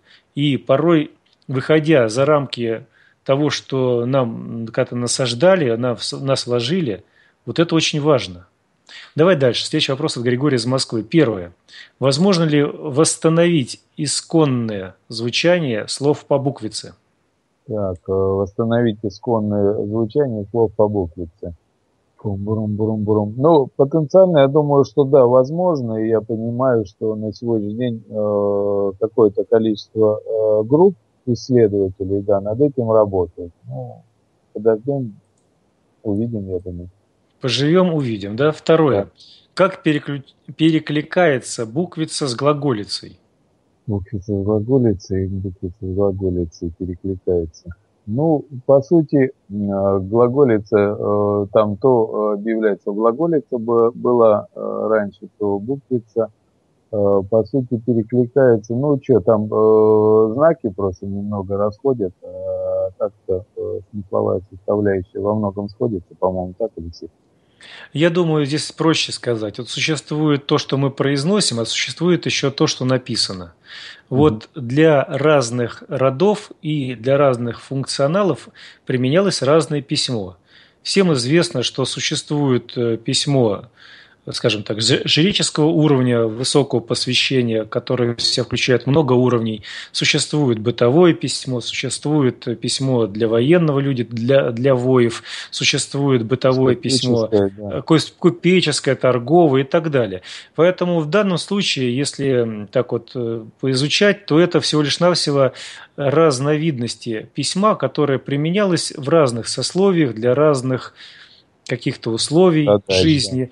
Да, но суть от этого, того, что там написано, особо не менялась. Я думаю, то, что написано глаголицей, могло быть написано и буквицей, и наоборот. Ну, просто вот, э, как вот, знаешь, сейчас есть же разделение на языки. Вот в этом языке больше получается командовать, то есть лающий такой язык, да, а вот в этом языке лучше получается доносить какие-то образы. Вот русский язык, он даже и многие славянские языки, даже после многих искажений, они сохранили себе и при необходимости и командное что-то, при необходимости сохранили себе и образное. И поэтому русский язык и славянские языки остались такими богатыми, э, их когда слушаешь, и это направлено, например, какой-то стих, то сердце раскрывается. И в то же время всегда можно послать на какие-то веселые три буквы, например, в душ – и станет понятно. Или возьмет эту хреновину, дай по этой фиговине, и вот эта шкварочка откре, там хрякнется, вот за нее шкваркой дернется, и там отсюда выпадет вот это. Ну, понятно, да, о чем идет речь. Вот. Или там в войне. Там, вместо того, чтобы батарея, там просто одно матерное слово, всем понятно, куда стрелять. Так, но при этом, как видите, все равно в литературе будет описано другим, более литературным языком. Так, дальше, третье. Что означает считаться с чьим-то мнением? Считаться на волновом уровне или имеется в виду что-то другое? А, ну, есть э, такое понятие эмпатия, с одной стороны. Чего это? Ну, сейчас, сейчас слово ругательное, конечно, но скажу так, способность э, тонко чувствовать человека другого. Другого, это значит, это ты, а это другой. Соответственно, его э, чувственное состояние, возможно чувствовать вот этим ругательным словом, э, как правило, обозначается. Это с одной стороны. Если Э, ты человек достаточно тонко чувствующий и прочее, ты стараешься, допустим, не нанести человеку там огорчение, оскорбление, не принятием его мнения. Это одна версия. Другая версия это то, что у вас есть достаточное понимание о том мнении, которое излагает человек, либо ваше мнение этому мнению противоречит вы можете считаться с этим мнением, а можете не считаться. Ну, то бишь вы считаете про себя. Свой счет ваш есть. Ну, вот как. Это такое простое достаточно изложение. Поэтому это две, э, два вида, две схемы. Тут нет ни противоречий, просто с одной стороны вы э, можете э, стараться не огорчить человека, свести свой, э, свое мнение с его э, к равновесию, к ладу в той или иной степени. Либо сосчитайте, что ваше мнение – выше, либо ниже, либо не соответствует, либо противоречит. Это тоже ваш счет, это ваш, у вас находится. Алексей? Угу. Хорошо. Вопрос эфира от Олега из Иркутска. Сурья, скажи, будь добр, видные общественные люди, говорящие неправду о принципиальных вопросах, например, тот же митрополит Кирилл с его наглой ложью о славян, славянах, уводящий людей от действительного положения вещей – Несут ли ответственность перед э, высшими силами света и зависит ли степень тяжести наказания богами таких сущностей от их должности, сана, народности, национальности, степени влияния на умы людей и так далее? Благодарю. Хорошо. Ну, э, я скажу так, условно, меры э, там, тому или другому э, деятелю я э, не буду назначать, потому что это не моя компетенция и даже, э, как бы, если бы у меня было некое это понимание, я бы тоже воздержался. А то, что э, за любой, э, за любой морок э, все равно придется э, отвечать э, любому человеку. Это так было, так есть, так и будет. Почему? Потому что хотим мы того или не хотим, э, ветер дует, облака уходят, солнце выходит. Солнце выходит, и, в общем-то, вот эту муть, вот этот морок, оно становится видно. Вот, и все. А то, что по каким мерам э, кому измериться, это немножко за пределами моего сегодняшнего понимания, скажу так. Угу. Надо понимать здесь вот как. Ну, во-первых, обсуждать какие-то известные личности вне их присутствия не очень правильно, наверное, на радио, поэтому я это оставляю на совести задающего вопрос. А так вообще надо понимать следующее, что есть разные задачи у разных людей э, в разные времена. Если мы говорим о русичах, о славянах, о русских, о русах, кому как нравится, то, наверное, за такие поступки будет спрос от э, их родичей по их роду. Если мы говорим про какие-то инородные про каких-то инородных людей, то в этом вопрос, э, в этом случае вопрос, наверное, надо задавать по их родам. Поскольку я себя не отношу к иным родам, я не могу за них что-то сказать. Да и, наверное, это неправильно. Может быть, у них задача такая, чтобы про другие рода, про других людей что-либо говорить не то, что вам нравится, не то, что вам кажется, и не то, что есть на самом деле. Вот и все. Может быть такая задача, может быть так, такая миссия, может еще что-то. Причем я не употребляю это вот к тому человеку, о котором здесь был задан вопрос. Я просто это говорю, что может быть есть такие люди, у которых такая задача. И поэтому будут их судить, не будут судить. Не знаю, может быть, там награду дадут за то, что он так хорошо делал свою деятельность против э, какого-то рода, против э, какого-то конкретного человека, против чего-то еще. Давайте эти вопросы нам что задавать. Я же не отношусь ни туда, ни сюда. Я вот отношусь к своему роду. Вот что связано с моим родом, я еще хоть как-то там могу представление иметь и как-то ответить. Так, дальше. Я, Гриша, задает вопрос, четвертый вопрос. Какое исконное значение слова «схоронить»? Это похоронить или сохранить, спрятать? Ну, э, это исконное значение все равно хранить. Э, и хранить в том э, плане тоже. Сохранить где-то в каком-то виде. Ну, вот, и все. Потому что одно дело как бы в отношении человека, умершего через кладу, но по-другому, другой термин. А сохранить, это вот примерно то же самое. Тут исконное значение сохранить. Вот, тут нет каких-то особых, мне кажется, здесь Э, дело в том, что у нас э, сохранение, если мы в отношении покойников говоришь, угу. говорим сейчас, то у нас сохранение тел покойников не было, не было такой цели. Да. Ну, Потому что термин перешел уже, я говорю, в соответствии с, с, с измененным э, порядком обряда. Да, да, поэтому у нас э, как было слово э, схрон, сохранить, что означало, как вот здесь вторая часть вопроса, спрятать, сохранить что-либо. А потом, поскольку это вошло уже с греческой религией и с другими веяниями в эту религию пришло на Русь, то в этом случае к славянам пришло, то в этом случае и сохранить именно как похоронить. Э, храм. Почему? Потому что в христианском течении есть такое понятие, что после пришествия Иисуса будет судилище, и тогда мертвые восстанут, будет апокалипсис, мертвые восстанут, и вот будет великий страшный суд. Но для того, чтобы они восстали, необходимо, чтобы они были сохранены. Вот, э, на мой взгляд, здесь есть несколько противоречий. Во-первых, э, когда говорится о Великом Суде, то там говорится только о 12 коленах Израиля. В принципе, как и в, в Новом Завете, там четкое указание, что Иисус пришел только к э, погибшим овцам дома Израилева. И дальше все повествования, в том числе и «идите к народам другим», это как раз относится «идите к народам другим из 12 колен Израилевых», потому что изначально было четко указано. Но не он каждый раз говорить – что я пришел к 12 э, коленам Израилевым, идите к коленам Израиля, несите благую весть коленам Израилем. Нет. Мало того, там же также есть уточнение. Но на путь к язычникам не ходите, города там такие-то не заходите. Четкое уточнение. Ну, что вам еще надо? Это первое. Второе. Э, если мы говорим о всемогущем Боге, если могущем каком-то Господе, то в этом случае сохранность тела не имеет никакого значения любовь всемогущая даже из ничего заново воссоздаст все.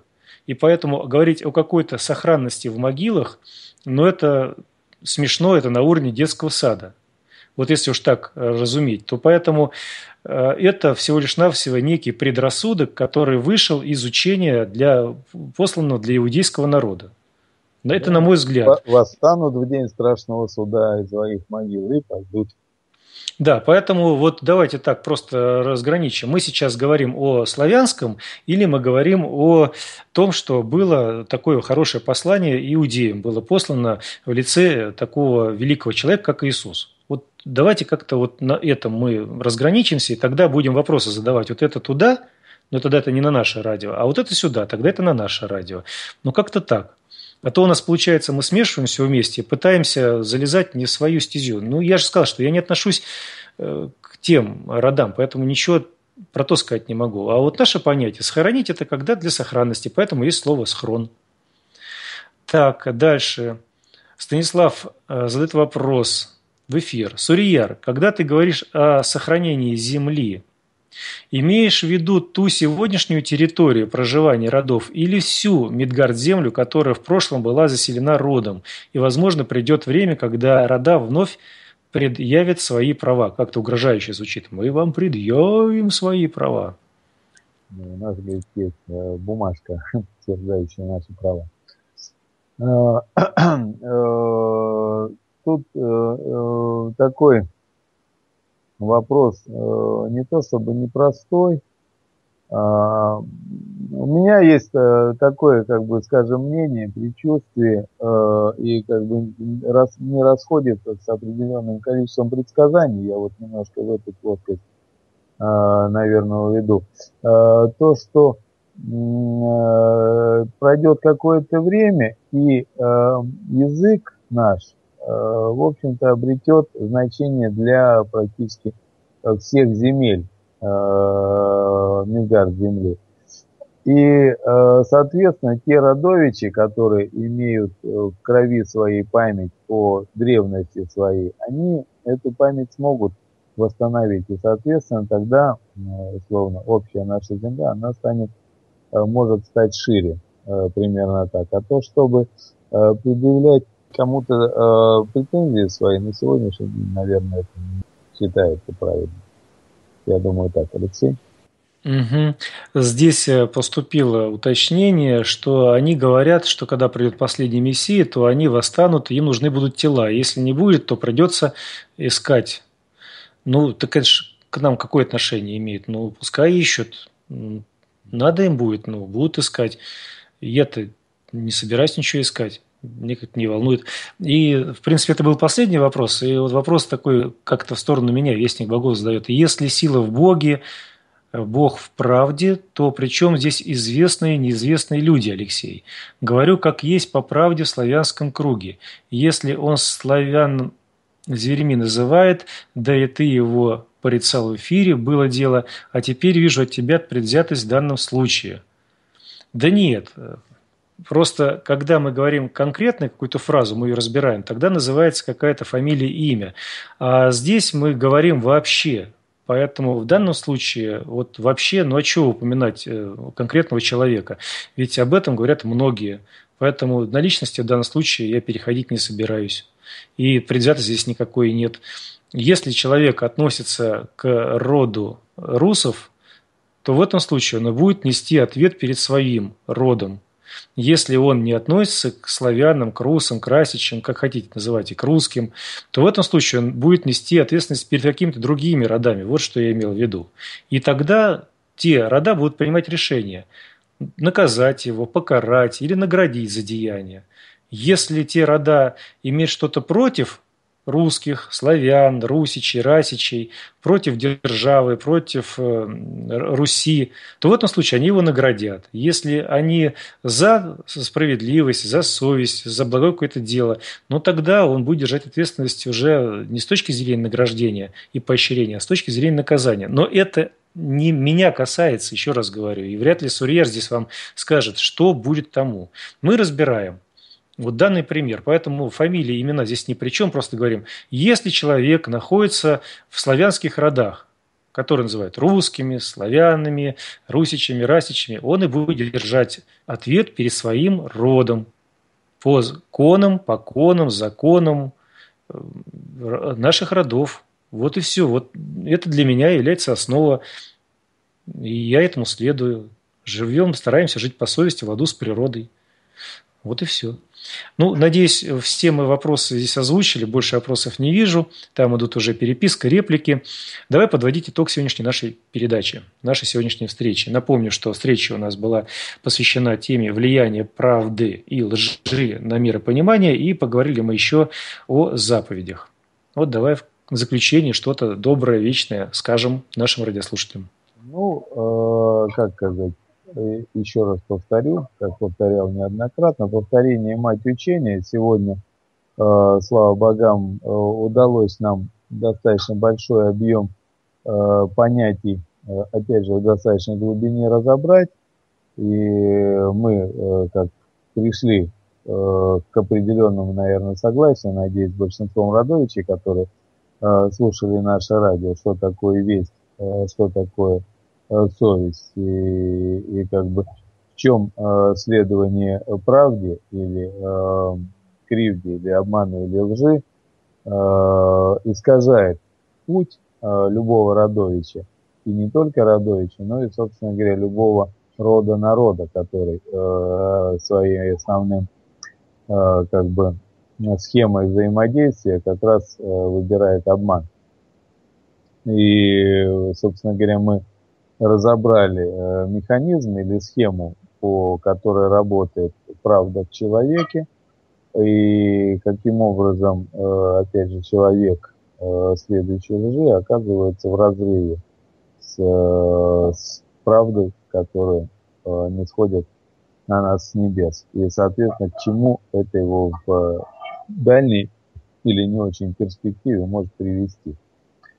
Это э, то, что мы сегодня пытались разобрать, понять и как бы э, выяснить, есть ли нам смысл следовать путем правды или, может быть, уклониться от него в какие-то другие более далекие и темные пределы.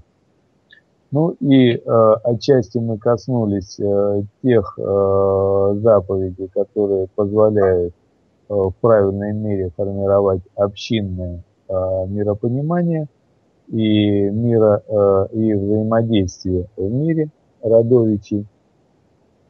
Вот. Ну, по мере своего понимания, опять же, мы сегодня донесли то, что э, есть э, сказать. Но надеюсь, что э, в следующих беседах, которые, безусловно, будут касаться нашего миропонимания, мы будем возвращаться и по возможности углублять это наше понимание. Всем родовичам благодарим великий за то, что слушали и, в общем-то, пытались э, свое какое-то э, дополнительное э, содействие оказать через вопросы, через э, внимание. Вот. Ну и всех э, как бы, призываю не забывать благодарить и способствовать э, тем, кто э, распространяет э, сначала сведения, а по, потом, возможно, сможет доносить и доносит на сию пору то знание, которое необходимо каждому из нас, как воздух для правильной жизни. Алексей? Угу. Благодарю тебя. Надеюсь, эфир на самом деле у нас получился не грустным. И Грустить много вроде не было. Не было да, ничего. вроде печали тоже не было, и скукоты не было, на мой взгляд. Хотя не знаю. В заключение себя скажу вот что. Кидаться на других это не означает, что тот, кто кидается, это мудрый человек. И принижать других не будет вряд ли человек, который высокий. Желание возвысить себя над другими и унизить других говорит о том, что человек сам по себе низок. Ведущий мудрость и высокий, с высоким сознанием, он, наверное, не нуждается в каком-то самовозвышении и унижении других. Он и так возвышен. Открывая рот для произношения каких-то слов в сторону другого, достаточно или, вернее, важно посмотреть на себя, а не проявилась ли у вас моська, лающая на слона. Шариков не пробился там случайно?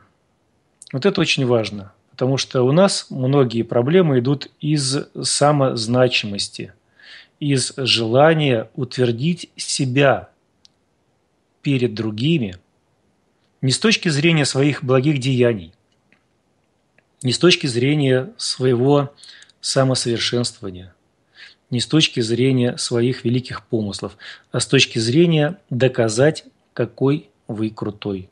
И какие все глупые, бестолковые, ничего не понимающие полулюди, получеловеки, которых надо воспитывать, которым надо благую весть нести, которых надо спасать от заблуждений и так далее. Конечно же, спасать надо. Конечно же, благую весть нести надо, но вопрос, кто ее несет.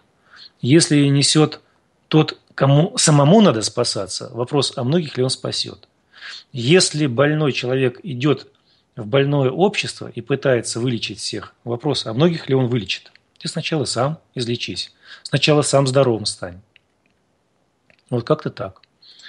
Напоминаю, что сегодня 5 мая 2016 года, четверг. По одному из современных календарей, по одному из старинных, 24 день месяца посева наречения, 7524 лета Осьмица. Влияние правды и лжи на мир понимания – такова тема сегодняшнего нашего эфира. Главный сведущий Сурияр.